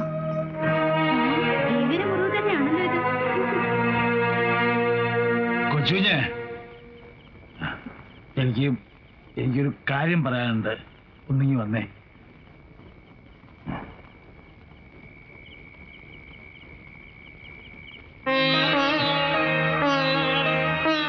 കൊച്ചുഞ്ഞ് നിനക്ക് നിന്റെ അച്ഛനോട് വെറുപ്പ് തോന്നുന്നുണ്ടോ? ഉണ്ടോ? നീ അച്ഛനെ വെറുക്കുന്നുണ്ടോ? ആര് വെറുത്താലും നിന്റെ മോൻ എന്നെ വെറുക്കരുത്. അച്ഛൻ എന്നാ ഈ പറയുന്നത് അച്ഛൻ എന്തിനാ വേണ്ടാത്ത കാര്യങ്ങളൊക്കെ ആലോചിക്കുന്നത് പോയിക്കാൻ തുടങ്ങിയട്ടെ മോനെ നിന്റെ അച്ഛനൊരു പാവാടാ. ഒരു കഴകത്തില്ലാത്തവൻ എല്ലാരും ചേർന്ന് എന്നെ ഒറ്റപ്പെടുത്തി. എനിക്കാരുമില്ല. ആരും. എന്താ അച്ഛാ ഇത്? അച്ഛൻ ഞാനില്ലേ? ഞങ്ങളൊക്കെ ഇല്ലേ?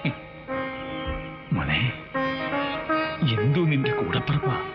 നിന്റെ സ്വന്തം രക്തമാ. അച്ഛന് പറ്റിയ ഒരു തെറ്റ്. അത് ഞാൻ സമ്മതിക്കുന്നു. എന്റെ മോളെ അവൻ കൊല്ലാക്കൊല ചെയ്യാടാ. എനിക്കെന്റെ മോളെ ഒന്ന് കാണണം. ഒരു വട്ടം. ഒരു വട്ടം ഒന്ന് കാണണം. എന്താ ഇപ്പൊ കാണാൻ മാത്രം ഉണ്ടായത്? ഉണ്ടായത് കൊണ്ടൊന്നും പഠിച്ചില്ലേ കുത്തുപാളയെടുത്ത് പെരുവഴിയിൽ ഇറങ്ങേണ്ടി വന്നു. കഴിഞ്ഞതൊക്കെ പോട്ടെ. ഇനി അവളെ കാണാനാണ് മിണ്ടാനാണെന്ന് പറഞ്ഞ് അവിടെ ചെന്ന് പ്രശ്നങ്ങളൊന്നും ഉണ്ടാക്കണ്ട. അവളുടെ കാര്യങ്ങളൊക്കെ ഞാൻ നോക്കിക്കോളാം. അച്ഛൻ വിഷമിക്കണ്ട പോയി കിടന്ന് ഉറങ്ങിയാട്ടെ? ചെലിച്ചെന്ന് ഉറങ്ങിയാട്ടെ?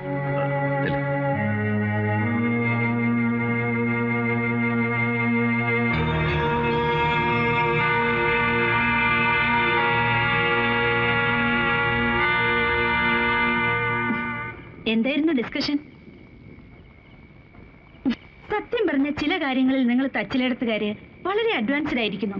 വളരെ എന്ന് പറഞ്ഞ വളരെ വളരെ. അച്ഛന്റെ ഒരു അഫയർ മകനുമായിട്ട് ഡിസ്കസ് ചെയ്യുക അഡ്വൈസ് വാങ്ങുക. Great really great പരിഹസിക്കാണ്.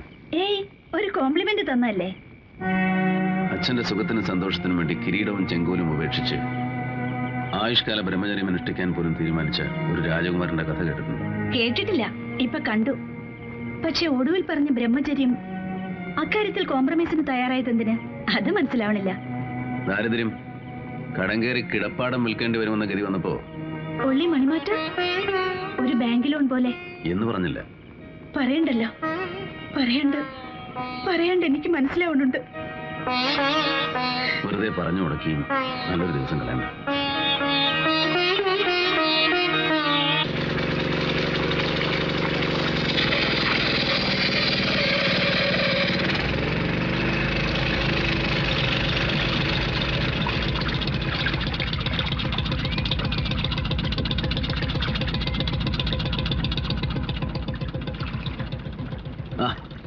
വെച്ചേട്ടാ ഞങ്ങൾ കൊച്ചിയിൽ സരളമ്മയുടെ വീട്ടിലറ്റം പോവാ. ഉഷയ്ക്ക് ഒരു ഇന്റർവ്യൂ സരളമ്മ നാട്ടിലുണ്ടോ?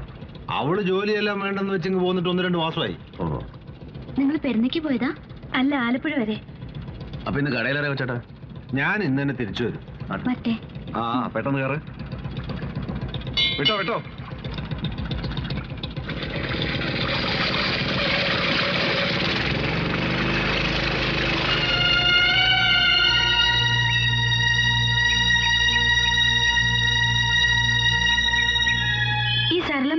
ആ കുട്ടിയുടെ ആരാ? ചേച്ചി. കഷ്ടം. ആ കുട്ടി എന്നെ ശപിക്കുന്നുണ്ടാവുമല്ലേ വിവാഹത്തിന് മുമ്പ് നടന്നോന്ന് ഓർക്കണ്ട എന്നത് നമ്മുടെ കാര്യത്തിലെ കൂടുതൽ ശരി. എനിക്ക് അക്കാര്യത്തിൽ ടെൻഷനൊന്നുമില്ല പക്ഷേ ചെളിക്കുഴിയിലെ ജീവിതം അത് മഹാബോറാ ഇന്നലെ ചെന്നപ്പോഴും അച്ഛൻ ചോദിച്ചു എറണാകുളത്തെ ഫ്ലാറ്റിന്റെ കാര്യത്തിൽ കൊച്ചുഞ്ഞ് എന്താ പറഞ്ഞെന്ന് ഞാൻ പറഞ്ഞില്ലേ ഇവിടുന്ന് ഇപ്പൊ ഒന്നും ഇട്ടറിഞ്ഞിട്ട് പോകാൻ പറ്റില്ല. കൊച്ചിഞ്ഞേട്ടനെ സംബന്ധിച്ചിടത്തോളം ഈ നാടിനോടും കായലിനോടും ഒത്തിരി ഇന്റിമസി ഉണ്ടാവും. പക്ഷെ എന്റെ കാര്യത്തിൽ അങ്ങനെയല്ലല്ലോ. ഇന്റിമസി കൊണ്ടൊന്നുമല്ല. എനിക്കിപ്പം വീട്ടിൽ നിന്ന് മാറി നിൽക്കാനൊക്കെ ഇപ്പൊ തന്നെ പോയി തുടങ്ങാറ്. ഇനി വിതയ്ക്കലായി കളപറിക്കലായി. ഇതൊന്നും അച്ഛനെ കൊണ്ട് മാത്രം പറ്റുകയില്ല. ഇക്കാലത്ത് കൃഷിയെ ഡിപ്പെൻഡ് ചെയ്യുന്നതിന് വിട്ടിത്വം ഞങ്ങൾ കുട്ടനാട്ടുകാർക്ക് അങ്ങനെ ചില വെട്ടിത്തരങ്ങളൊക്കെ ഉണ്ട്. അത് മാറില്ല. രക്തത്തിൽ അലിഞ്ഞു ചേർന്നതാ. കൃഷിപ്പണിയോട് ഇത്ര ക്രേസ് ആണെങ്കിൽ നമുക്ക് ആലപ്പുഴ ടൗണിൽ എവിടെയെങ്കിലും സെറ്റിൽ ചെയ്ത് കൃഷി നടത്താലോ? അംബികയ്ക്ക് എല്ലാത്തിനും അംബികയുടേതായ ഒരു പരിഹാരം ഉണ്ടാവും.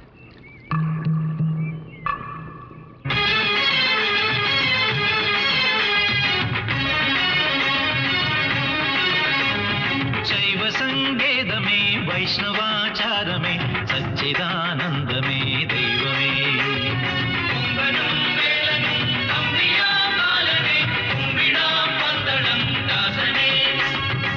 स्मृन् माययो शङ्करं लीलयो।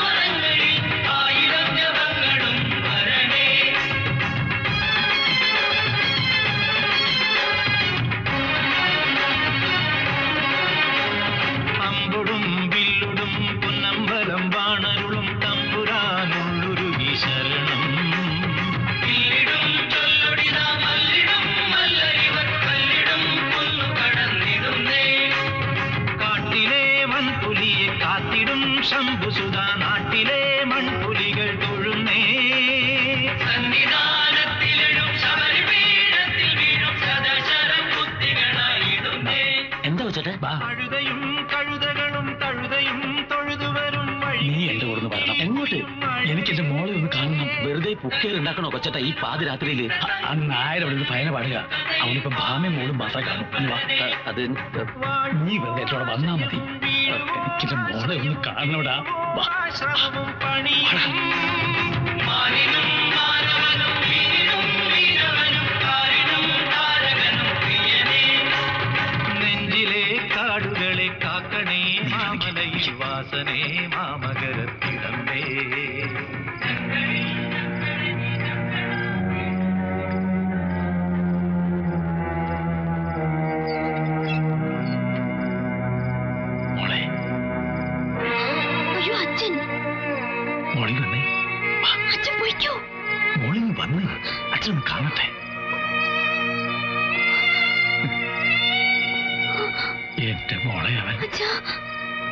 ഒരുപാട് കൊച്ചുഞ്ഞേ കൊച്ചുഞ്ഞേ.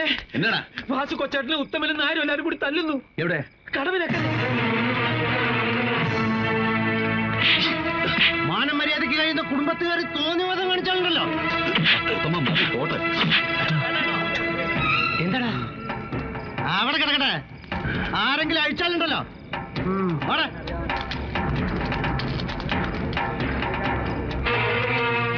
എന്റെ മോനെ ഒരു കാര്യമില്ലാതെ എല്ലാം തന്നെ എന്താ കൊച്ചും ചെയ്ത് പച്ചപ്പാതരായിട്ട് കുടുംബമായിട്ട് കഴിയുന്ന വീട്ടിൽ കയറി വൃത്തികേട് കാണിച്ചിട്ട് അച്ഛനെ വിളിച്ചോണ്ട് ഗുണദോഷിച്ച് നന്നാക്കാൻ നോക്ക്. ആ നായര് പാവ അതുകൊണ്ട് ജീവനോടെ വിടുന്നു. തണ്ടയ്ക്ക് വല്ല കടുക കഷായം വെച്ചു കൊടുക്ക്. ഈ വയസ്സ്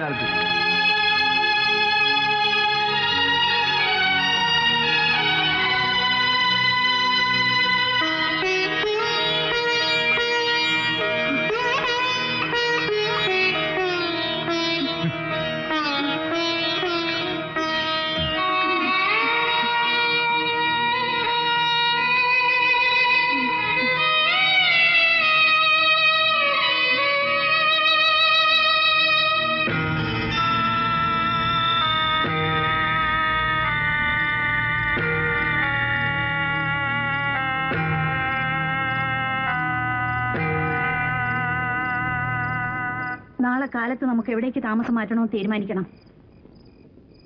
കാലത്ത് എനിക്ക് അച്ഛന് ഫോൺ ചെയ്യാനാ. എവിടേക്ക് വേണമെന്ന് കൊച്ചുഞ്ഞേട്ടൻ തീരുമാനിച്ചോളൂ. പക്ഷെ കാലത്ത് പറയണം. പറഞ്ഞേ പറ്റൂ. ഇവിടെ ആരും താമസം മാറ്റുന്നില്ല. നമ്മൾ ഇവിടെ തന്നെ താമസിക്കും.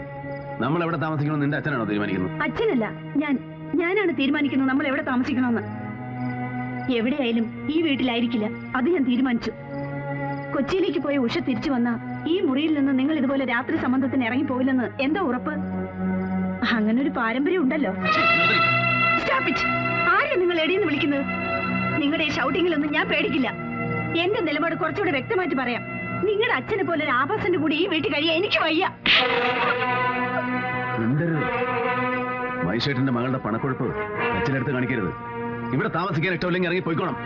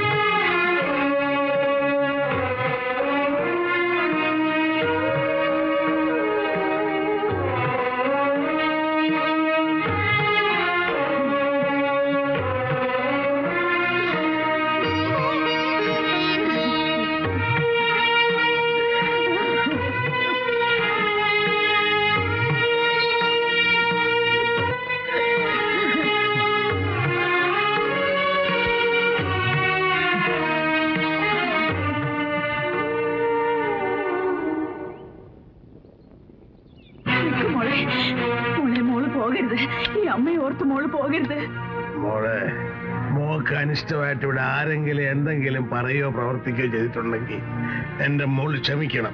വെല്ലിച്ചൻ കാൽ പിടിച്ച് പറയാ മോൾ പോകരുത്. വെല്ലിച്ച വേണ്ട. പോകുന്നവര് പോട്ടെ. അങ്ങനെ കാൽ പിടിച്ചും ക്ഷമയാശം നിർത്തേണ്ട കാര്യമൊന്നും തന്നിഷ്ടത്തിന് ഒരിക്കൽ നീ പടി ഇറങ്ങിയ പിന്നെ ഈ ജന്മത്തിൽ നീ തിരിച്ചു കിടക്കുകയല്ല. ക്ഷമിക്കാവുന്നൊരു പരമാവധി ഞാൻ ക്ഷമിച്ചു. പോകാൻ തീരുമാനിച്ചെങ്കിൽ ഇറങ്ങി പോ. അരുത് മോനെ. കൊച്ചുഞ്ഞി പോകരുതെന്ന് പറ മോനെ. പോകരുതെന്ന് പറ. ഓട്ടമ്മേ ഭാര്യമാര് ഭർത്താക്കന്മാരുടെ തലയിൽ കയറി നിരങ്ങുന്ന ഫെമിനിസ്റ്റ് സംസ്കാരം ഞാനടക്കം ഇവിടെ ആർക്കും വശമില്ല. ലോകപരിയം കുറവ്. അതുകൊണ്ടാ അത് വശമാക്കാൻ ഞങ്ങൾ ശ്രമിക്കാം. വശമായി വന്നാൽ ആലവട്ടവും വെഞ്ഞാമരവും കൂട്ടി അവിടെ ഒന്ന് നേരെ എഴുന്നള്ളിച്ചുകൊണ്ട് വരാം.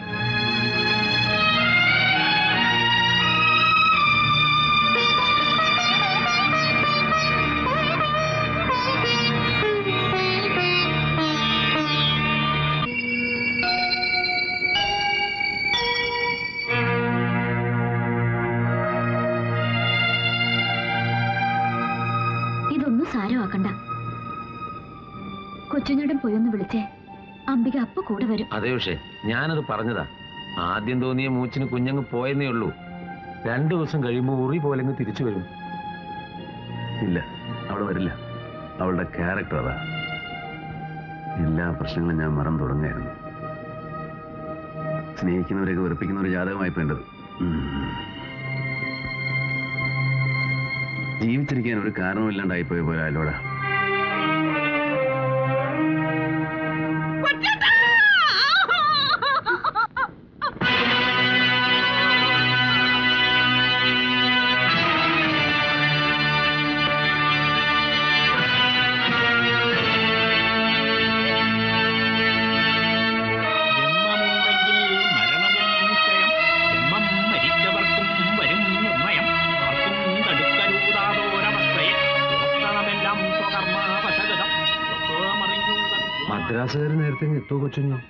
എത്തും എയർപോർട്ടിലേക്ക് ആൾ പോയിട്ടുണ്ട്.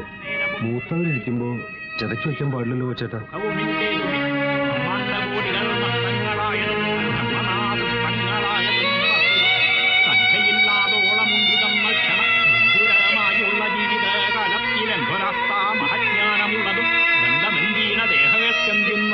ചിന്തിച്ചുമായ ഗുണവൈഭവങ്ങളും സംഭവം കമ്പിത പത്രഗ്രലബ്ധബിന്ദു ഭക്ത ന ദേഹത്ത കർമ്മണ പിന്നെയും പ്രഥമം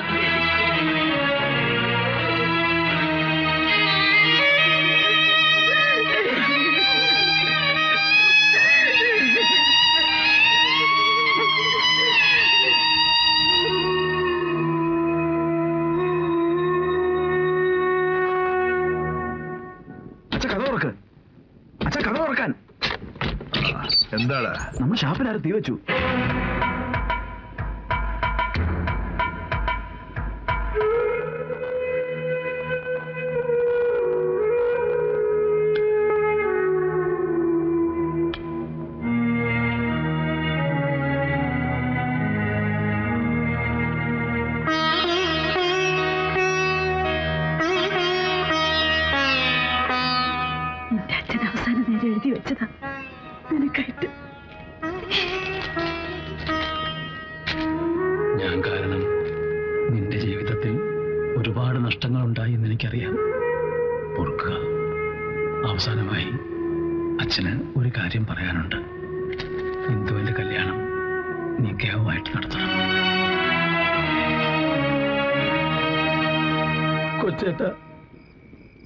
എന്റെ മോളെ കാണോടെ കമലാസനാഥും പറഞ്ഞ് ഭജനപ്പന്തലിൽ നിന്ന് എന്നെയും വിളിച്ചോണ്ട് വരികയായിരുന്നു. എന്റെ കൺമുമ്പിലിട്ട് എനിക്ക് ഓർത്തിട്ട് സഹിച്ചില്ല കൊച്ചേട്ട. എനിക്ക് സഹിച്ചില്ല. അതുകൊണ്ടാ അതുകൊണ്ടാ ഞാൻ കൊച്ചുകുഞ്ഞെ കൊച്ചുകുഞ്ഞെ ഞാൻ ഞാൻ അവന്റെ ഷാപ്പിന് തീ വെച്ചു. എന്റെ വാസു കൊച്ചേട്ടനെ കൊലക്കി കൊടുത്തു. എന്റെ ഷാപ്പിന് ഞാൻ തീ വെച്ചു. ഞാനാ തീ വെച്ചത്. അത് ഞാൻ എവിടെയും പറയും. കൊന്നോട്ടെ എന്നെ. പോലീസിലും പട്ടാളത്തിലും എവിടെ വേണമെങ്കിലും പറയും ഞാൻ. അവനെ ആ ഉത്തമനെ ഞാൻ അന്വേഷിച്ചതാ. കണ്ടിരുന്നെങ്കിൽ ഒറ്റ കുത്തിന് ഞാൻ അവനെ കൊല്ലുമായിരുന്നു. എനിക്ക് അത്രയ്ക്ക് ദണ്ണുണ്ട് കുഞ്ഞെ. ഇവിടുത്തെ ഉപ്പും ചോറും തിന്നാ ഞാൻ വളർന്നേ. വാസുക്കൊച്ചേട്ടൻ എനിക്ക് എന്റെ അച്ഛനെ പോലെയാ. അവനെ ആ ഉത്തമനെ അവനെ ഞാൻ കൊല്ലും. അവനെ ഞാൻ കൊല്ലും. അവനെ ഞാൻ കൊല്ലും. അവനെ ഞാൻ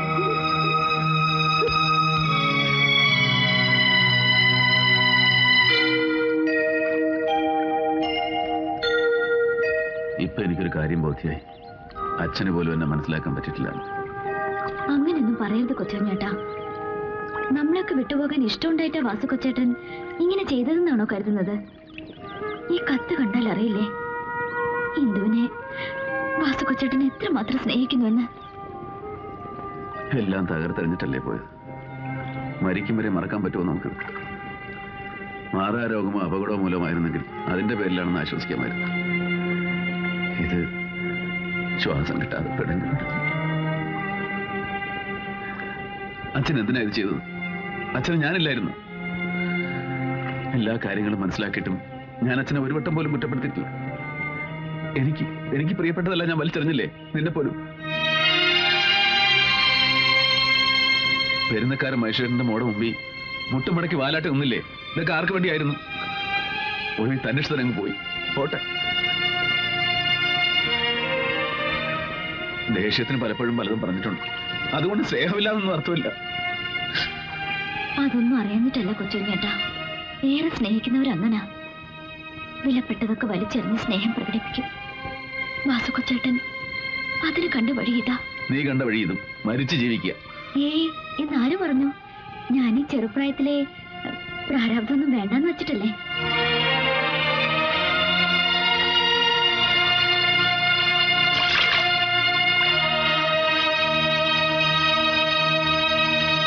ഓ പിന്നെ? പൊന്നാരോ ഒത്താരോ പറഞ്ഞുകൊണ്ട് നടക്കുന്നത് നിങ്ങളുടെയൊക്കെ മുതൽ കത്തിയാലേ നിങ്ങൾക്കുള്ളൂ. ഷാപ്പ് കത്തിയത് കൊണ്ട് രൂപ എത്ര എന്റെ വെള്ളത്തിലായെന്ന് നിങ്ങൾക്കറിയോ വെളുപ്പിള്ളേ എന്റെ അഭിപ്രായം പറഞ്ഞ ഇത് വെറും ഒരു തുടക്കവാ. അതെ തന്ത ചത്തത് അവന്റെ നെഞ്ചിനാ കൊണ്ടിരിക്കുന്നേ. അവൻ വെറുതെ ഇരിക്കില്ല. ശരിയാ ഭാര്യയും പിണങ്ങിപ്പോയി. ഇനി അവൻ എന്ത് ചെയ്യാൻ? ആ ഇപ്പൊ ഞാൻ പറഞ്ഞ എങ്ങനെ ഉണ്ട് ഒതുക്കണം. ഒതുക്കണമെന്ന് പറഞ്ഞാൽ നല്ല സ്വയംബൻ ഒതുക്കൽ. ഉം വഴിയുണ്ട്? ഷാപ്പ് ഞാൻ കേസ് കൊടുക്കാനാ? ഏയ് അതീ കാര്യമില്ല. ആ കേസിന് എന്ത് ശിക്ഷ കിട്ടാനാ? ഇതല്ല ചവിട്ടിയിരിക്കുന്ന ഭൂമി പിളരണം. പിളർത്തണം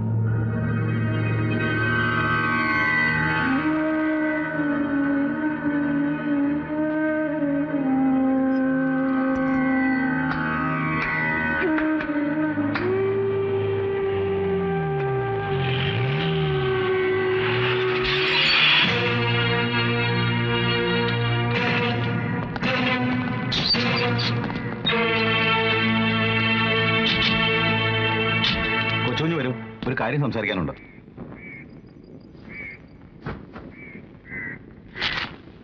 നാനൂറ് ആൾക്കാർ ഒപ്പിട്ട ഒരു മെമ്മോറാണ്ടം കഴിഞ്ഞ ദിവസം ഒരു ആക്ഷൻ കൗൺസിലിന്റെ പേരിൽ സി എമ്മിനും ഹോം മിനിസ്റ്റർക്കും ഒക്കെ നൽകിയിട്ടുണ്ട്. ദാ ഹോം മിനിസ്റ്റർ ഞങ്ങൾക്ക് അയച്ച ഓർഡറാണിത്. എന്താണ് സാർ? എനിക്കൊന്നും മനസ്സിലാവുന്നില്ല. സാർ എന്താ ഉദ്ദേശിക്കുന്നത്?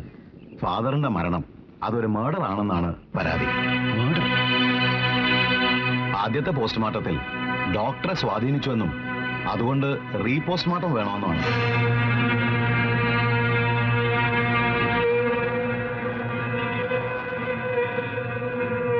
എന്നതാ മോനെ ആ? എന്നതാ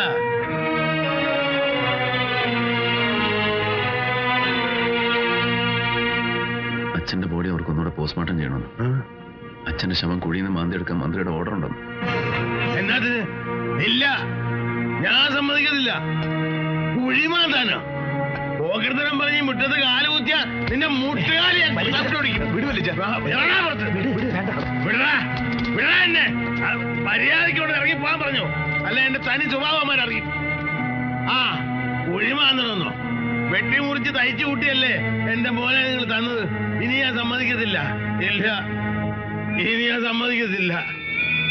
സമ്മതിക്കത്തില്ലെന്ന് പറ മോനെ. അച്ഛന്റെ മരണത്തിന്റെ ഷോക്കിന് ഇതുവരെ ആരും മാറിയിട്ടില്ല. സാർ ഏത് വഴിക്കെങ്കിലും ഇതൊന്ന് ഒഴിവാക്കി തരാൻ പറ്റുമോ? കൊച്ചുകുഞ്ഞ് ഇത് ഞങ്ങൾക്ക് ഇൻട്രസ്റ്റ് ഉള്ള കാര്യമല്ല. ഇതൊരു മാസിന്റെ ആവശ്യമാണ്. കൊച്ചുഞ്ഞെ എന്റെ മോൻ വാസുകുട്ടന്റെ പട്ടട മാന്തരുന്ന പറ മാന്തട്ടെ വലിച്ച ധൈര്യമുള്ള ഒരു മാന്തട്ടെ. മാന്തി വലിച്ച് പുറത്തിട്ട് കീറി ഒന്നുകൂടെ പരിശോധിക്കുക പക്ഷേ ഒരു കാര്യം ഈ പരിശോധന കഴിഞ്ഞും അച്ഛൻ ആത്മഹത്യ ചെയ്തതല്ല എന്നൊരു പോസ്റ്റ്മോർട്ടം റിപ്പോർട്ട് കിട്ടിയില്ല എങ്കിൽ ആ പട്ടട തൊണ്ടൻ ആദ്യം തൂമ്പാടുക്കുന്നവന്റെ കൈ ഞാൻ വെട്ടും. തൂങ്ങി മരിച്ച പാവം തച്ചിലെടുത്ത വാസുകുട്ടൻ നായർ എന്റെ അച്ഛനാണെങ്കിൽ ഞാനത് ചെയ്തിരിക്കും. അതിന് ധൈര്യമുള്ളവർ ആരെങ്കിലും വെട്ട്.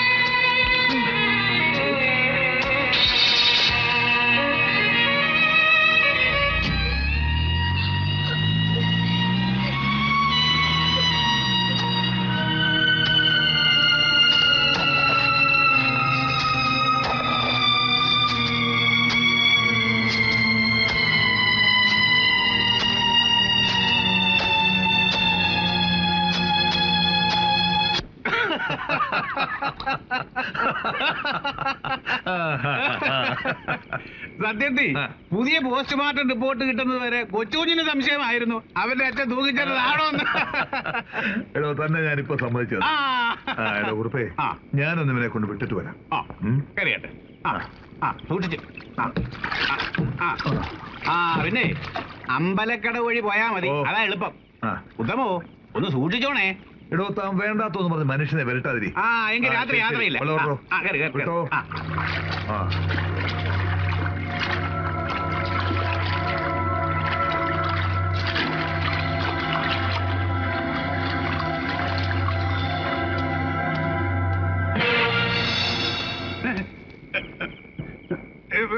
എന്നതാ എന്നാ വേണം എവിടാ ഉത്തമൻ എവിടാ ഉത്തമൻ ഉത്തമൻ എവിടെ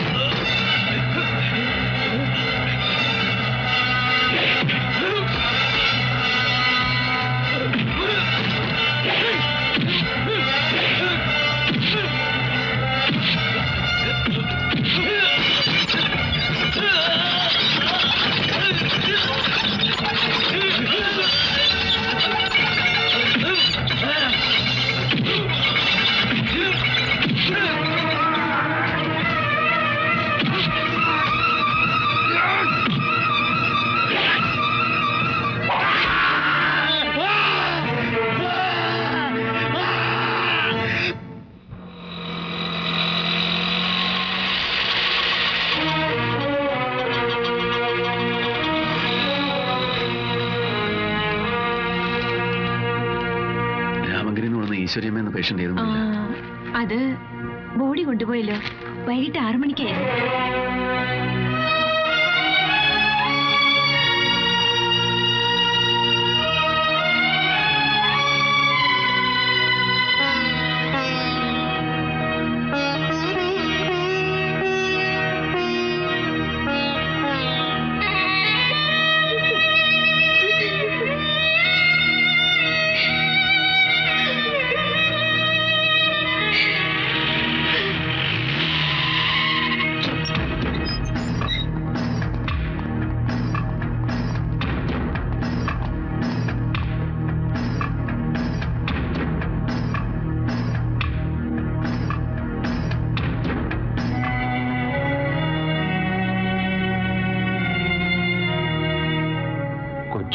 കാക്കണം വരികയാണെങ്കിൽ പതിനൊന്ന് മണിക്ക് എത്താന്നാ പ്രഹ്ലാദന്റെ കടയിൽ കമലാസനം വിളിച്ച് പറഞ്ഞത്. മണി പന്ത്രണ്ടരയായി. ഒരു മഴയ്ക്കുള്ള കോളും ഉണ്ട്. കർമ്മം തുടങ്ങിയാലോ? മാമ്പഴക്കരയെന്ന് പങ്കജത്തിന്റെ മോൻ വന്നിട്ടുണ്ട്. അവനെ കൊണ്ട് ചെയ്യിച്ചാലോന്നാ കരയോക്കാർ പറയണത്.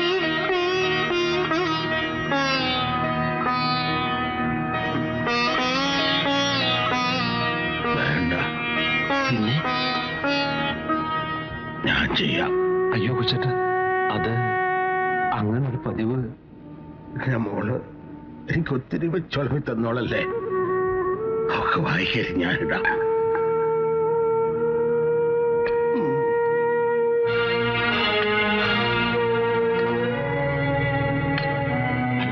അത് ആ കരയോഗം സെക്രട്ടറിയോട് ഞാൻ സംസാരിച്ചു. മൂത്തവര് അതും അച്ഛൻ മക്കൾക്ക് വിലയിരുന്ന ഏർപ്പാട് നമ്മുടെ സമുദായത്തിൽ. കുഴിച്ചിട്ട് ശവം മാന്തി എടുക്കുന്ന ഏത് സമുദായത്തിന്റെ നിയമമാണ് ഏ? അന്ന് താനും ഉണ്ടായിരുന്നല്ലോ ഇവിടെ.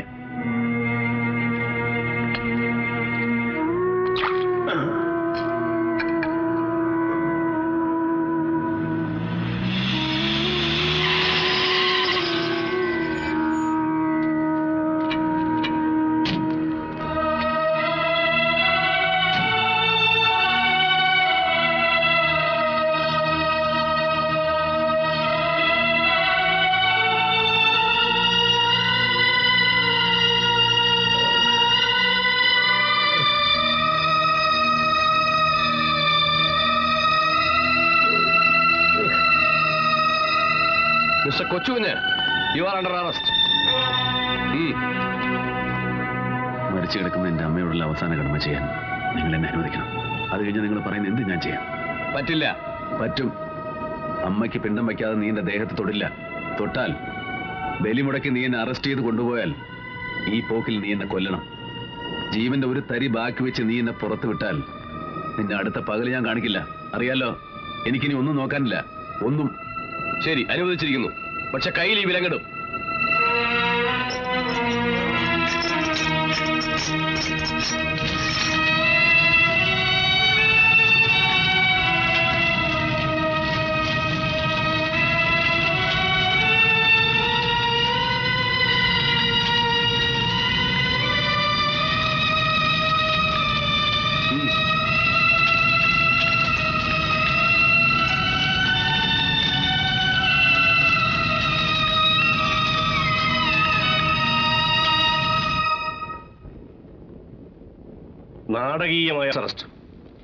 പത്രക്കാരുടെ ഔദാര്യം കൊണ്ട് ഇവിടെയുള്ള ആരുടെയും പേര് വെച്ചിട്ടില്ല.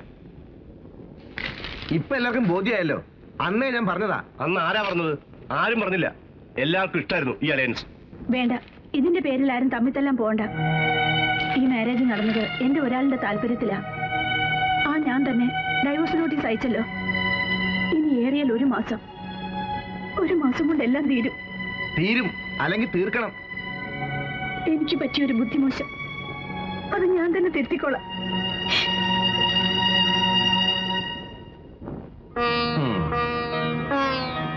ഇനി വിൽക്കാൻ ഈ വീടും പറമ്പും മാത്രമേ ഉള്ളൂ. അല്ലയോ ബാലേന്ദ്ര നീ ഒരു കാര്യം ചെയ് ഇത് നാലായിട്ട് പങ്കുവെക്ക്. കൊച്ചുകുഞ്ഞിനെ നമുക്ക് ജാമ്യത്തിൽ ഇറക്കണ്ടായോ? അവന്റെ കേസ് നടത്തണ്ടായോ?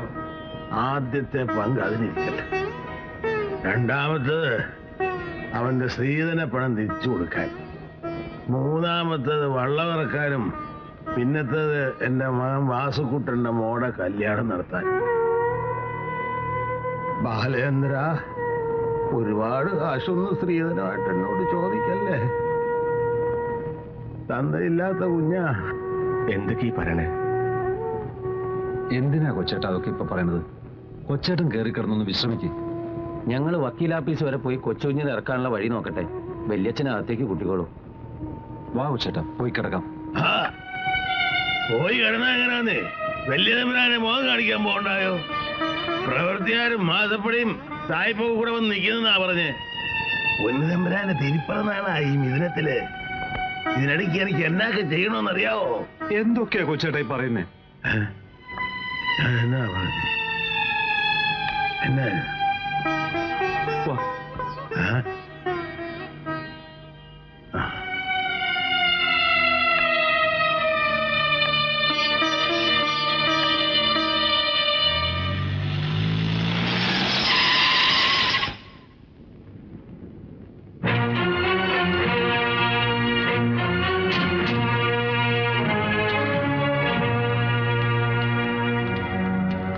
വക്കീൽ നോട്ടീസ് കിട്ടി. ഡൈവോഴ്സിനെ കുറിച്ച് സംസാരിക്കാൻ വന്നതാ. അത് സംസാരിക്കേണ്ട കോടതിയിൽ. ഇവിടെ അല്ല കേസും കോടതിയൊന്നും എനിക്ക് പുത്തരിയില്ലെന്ന് അറിയാമല്ലോ. അതുകൊണ്ട് അത്തരത്തിലുള്ള ഭയപ്പെടുത്തലൊന്നും വേണ്ട. അതറിയാൻ കുറിച്ച് വൈകി. അതാ ഞങ്ങൾക്ക് പറ്റിയ തെറ്റ്. ഗുസ്തിയും ഉണ്ടായിച്ചൊക്കെ നാട്ടുകാരെടുത്ത് കാണിച്ചോ. എന്റെ പെങ്ങൾ എന്ത് തിരിയിട്ട് അവക്കിട്ട് അടിച്ചത്? ഓ ജില്ലാ മജിസ്ട്രേറ്റ് ഇവനാണോ? ഞാൻ വിചാരിച്ചവന്റെ അച്ഛനാണെന്ന്. സന്തോഷ് കൂൾ ഡൗൺ അയാൾക്ക് നഷ്ടപ്പെടാനൊന്നുമില്ല. നമ്മൾ നമ്മുടെ മാന്യത കീപ്പ് ചെയ്യണം. ആ അതാണ് തന്നെ ശരി. അവൾ പറഞ്ഞു കേട്ടില്ലേ? എനിക്കിനി നഷ്ടപ്പെടാനൊന്നുമില്ല പക്ഷേ നിങ്ങളുടെ കാര്യത്തിൽ അങ്ങനെയല്ല. നിങ്ങൾക്ക് നിങ്ങളുടെ മാന്യത കീപ്പ് ചെയ്യണം. ഡൈവോഴ്സ് നോട്ടീസ് അയച്ചതല്ലേ ഉള്ളൂ. താലി ഇപ്പോഴും കഴുത്തില്ലേടി മൈസേട്ടിന്റെ പുന്നാര മോളെ. നീ പറഞ്ഞത് ആരെ കുറിച്ചാണെന്നറിയോ നിന്റെ ഭർത്താവിനെ കുറിച്ച്. എന്നെ കുറിച്ച്. മാറി അങ്ങോട്ട്. അറിയാലോ എന്നെ? കൈവെട്ടാനും കാലുവെട്ടാനും മടിക്കാത്തവനാ ഞാൻ. ഞാനിപ്പോ തല്ലിയത് എന്റെ കെട്ടിയോളയാ. അവളോട് നാല് വർത്താനം പറഞ്ഞിട്ട് നമുക്ക് കയ്യാങ്കളി കളിക്കാം. തെറ്റന്റെ ഭാഗത്തുനിന്ന് ഉണ്ടായിട്ടുണ്ട്. സമ്മതിക്കുന്നു.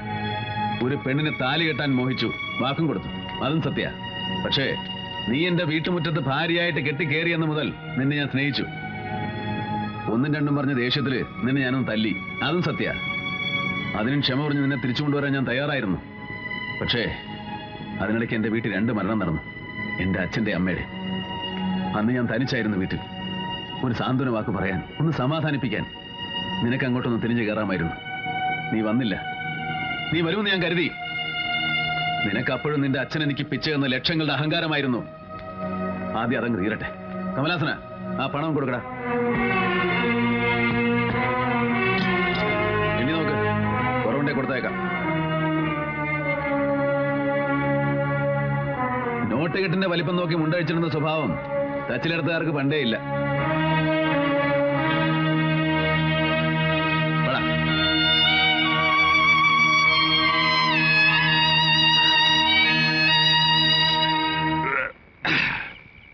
സമ്മതിക്കരുത്. തന്റെ കൊക്കിന് ജീവനുള്ളിടത്തോളം കാലം താൻ സമ്മതിക്കരുത്. എടോ തന്റെ മോടെ കല്യാണം താൻ അറിയാൻ നിശ്ചയിക്കുന്നു എന്ന് പറഞ്ഞാൽ താൻ എന്തിനാണോ പിന്നെ ആണാന്നും പറഞ്ഞ് നടക്കുന്ന കൂരം താനെന്നായതേ വരട്ടെ കാണാം. കാണാനൊന്നുമില്ല. നോക്കിയിരുന്നാലേ പെണ്ണിനെ മറ്റവന് കെട്ടിച്ചു കൊടുക്കും. സ്വത്തും പറമ്പും ഒക്കെ അവരുടെ പേരില്ല താൻ പിന്നെ ഉറി പോലെ പുറത്ത്. ഞാനായിട്ടിപ്പോ എന്താ വക്കീൽ സാർ ചെയ്യേണ്ടത്? എടോ തന്റെ മകളെ തനിക്ക് ബോധിച്ചവന് പിടിച്ച് കെട്ടിച്ചു കൊടുക്കണം. ആരാ ചോദിക്കാൻ വരുന്നതെന്ന് ഒന്ന് കാണട്ടെ. വാളെടുത്തവൻ വാളാൽ. എടോ നായരെ തന്റെ മോളെ ഈ ഉത്തമന് കെട്ടിച്ചു കൊടുത്താലെന്താ എന്താ? ഡോ അവനായിട്ട് വെട്ടിയതല്ലേ ഇവന്റെ കൈ? ഒറ്റ കൈ കൊണ്ട് അവന്റെ പെങ്ങളുടെ കഴുത്തിൽ താലി കെട്ടുന്നത് അവൻ കാണട്ടെ. എന്താ നായരെ?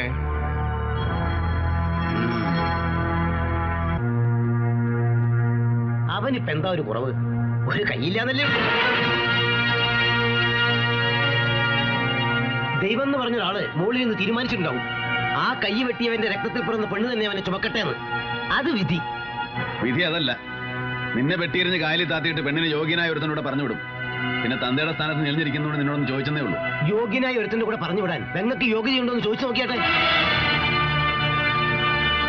ഞാൻ കണ്ടിടത്തോളം അവൾക്കൊരു ബന്ധമുണ്ട് അത് ഈ നാട്ടുകാർക്ക് എല്ലാവർക്കും അറിയും ചെയ്യാം.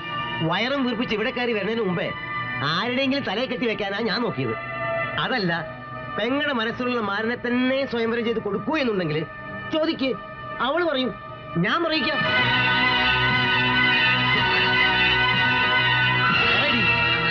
കാര്യമായിട്ട് ബന്ധം? പറയാൻ.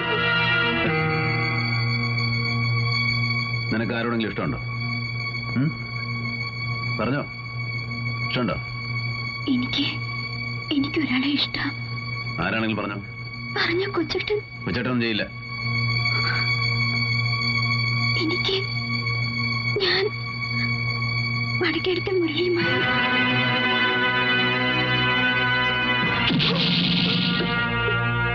കള്ള കഴിവടവനെ നിന്നെ ഞാൻ കൊച്ചേട്ടൻ ഞാൻ പറയുന്നത് കേൾക്ക്. എന്റെ കൊച്ചിന് വല്ല പേര് ദോഷം കപ്പിച്ച കൊല്ലും ഞാൻ. കൊന്നോ. ഞാൻ പറയുന്നത് കേട്ടിട്ട് കൊന്നോ. ഞാൻ പറയുന്നത് സത്യമാ വിശ്വസിക്കാമെങ്കിൽ വിശ്വസിക്ക്. ഇന്ദുവിന് എനിക്കിഷ്ടമാ. ഞാൻ അവളെ കല്യാണം കഴിക്കും. കുടുംബ വഴക്കിന്റെ വൈരാഗ്യത്തിന്റെ പേരിൽ എന്നെ കൊല്ലു നോക്കി കൊന്നോ. പക്ഷെ എനിക്ക് എന്തെങ്കിലും സംഭവിച്ചെന്നറിഞ്ഞാൽ അവൾ പിന്നെ ജീവിച്ചിരിക്കില്ല. വേണമെങ്കിൽ പോയി ചോദിച്ചു നോക്ക്.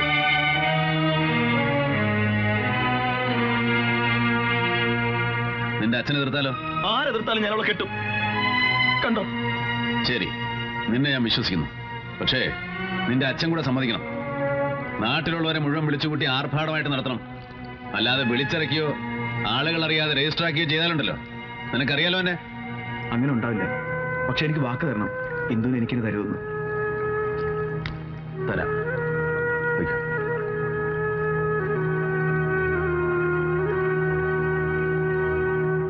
ഓഹോ നിന്റെ പെങ്ങളെ എന്റെ മകൻ കെട്ടണം.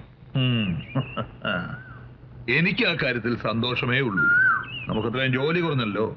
മറ്റേത് നാട് നിങ്ങൾ നടന്ന് പെണ്ണ് കാണുക ജാതകം നോക്കുക ഇതൊന്നും വേണ്ട. സുഖം.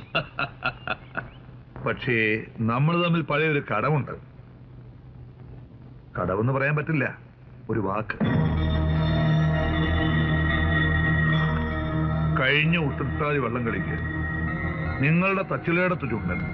എന്റെ ചുണ്ടന്റെ ഒരു വള്ളപ്പാട് മുന്നിൽ ഒന്നാം സ്ഥാനത്ത് വരുമെന്നും അങ്ങനെ വന്നാൽ എന്റെ തലമുട്ടയടിപ്പിച്ച് പാതി മീശ എടുപ്പിക്കുമെന്നൊരു വാക്ക് അന്ന് കളി നടന്നില്ല.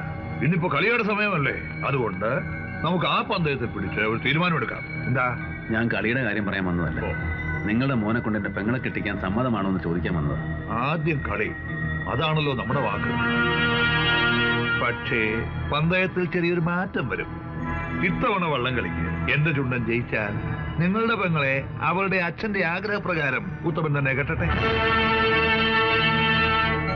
അല്ല മറിച്ച് തച്ചിലെടുത്ത ചുണ്ടനാണെങ്കിൽ തന്റെ പെങ്ങളെ എന്റെ മകൻ കെട്ടും. ഇത് വാക്ക. ഏത് മത്സരത്തിനും ഒരു വാശിയും വൈരാഗ്യമൊക്കെ വേണ്ടേ കൊച്ചുഞ്ഞെ എന്താ?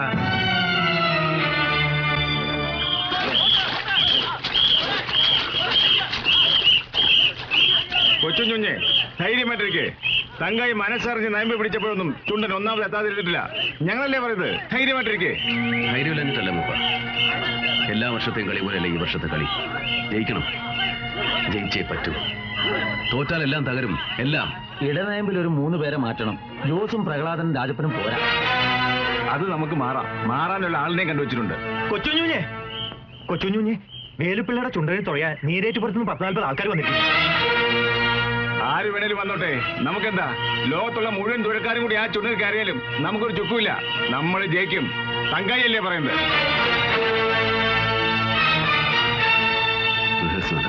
കളി ജയിക്കണം. ആ അതിനെന്തൊക്കെ വേണം? എന്തൊക്കെ ചെയ്യണം? അതൊക്കെ താൻ ആലോചിച്ചോ എത്ര ലക്ഷം രൂപ വേണമെങ്കിലും ഒഴുക്കാൻ ഈ വേലുപ്പിള്ള തയ്യാറാ? പക്ഷേ ജയിക്കും. ജയിച്ചിരിക്കും. ഇത് ഞാനാ പറയുന്നത്. എന്താ സംശയമുണ്ടോ? വഴി ഞാൻ പറഞ്ഞുതരാം. പിള്ള ആ വഴിക്ക് നീങ്ങിയാ മതി. പുരുഷു വള്ളപ്പരയ്ക്ക് ഇന്ന് നമ്മുടെ ആൾക്കാർ കാവൽ നിൽക്കണം. ആ വേലിപ്പിള്ള കളിയേക്കാൻ എന്ത് ചെറ്റത്തുറം കാണിക്കും? ഞാനും കമലാസൻ ചേട്ടനും കൂടി ഇപ്പൊ തന്നെ വള്ളപ്പരയ്ക്ക് കാവൽ നിൽക്കാൻ തീരുമാനിച്ചു.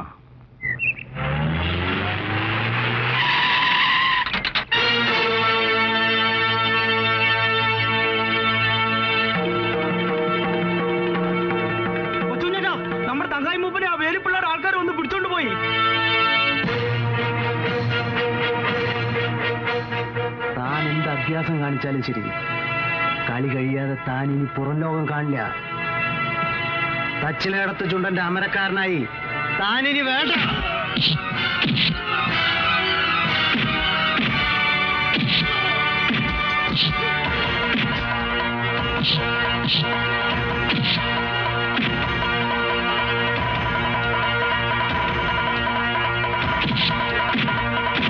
പൊന്നും Thank you.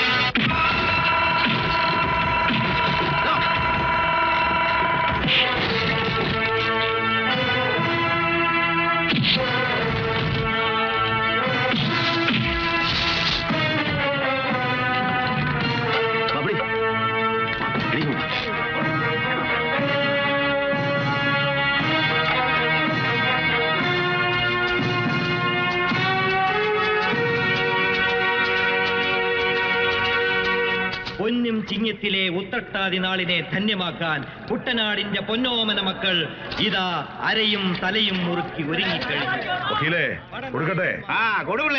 സന്തോഷകരമായിട്ട് അങ്ങോട്ട് വാങ്ങിയിട്ട് ഐശ്വര്യമായിട്ട് തുഴഞ്ഞ് തച്ചിലേടത്തിനെ രണ്ട് വള്ളപ്പാട് പുറകിലാക്കണം. പിന്നിലാക്കും എന്നുറക്കെ പ്രഖ്യാപിച്ചുകൊണ്ട് മത്സരവും സർക്കിൾ നമ്മൾ ചതിച്ചല്ലോടാ പറഞ്ഞു നമ്മുടെ തുഴക്കാരെയൊക്കെ കള്ളക്കേസ് ഉണ്ടാക്കി രാത്രിയിൽ പോലീസ് അറസ്റ്റ് ചെയ്തു.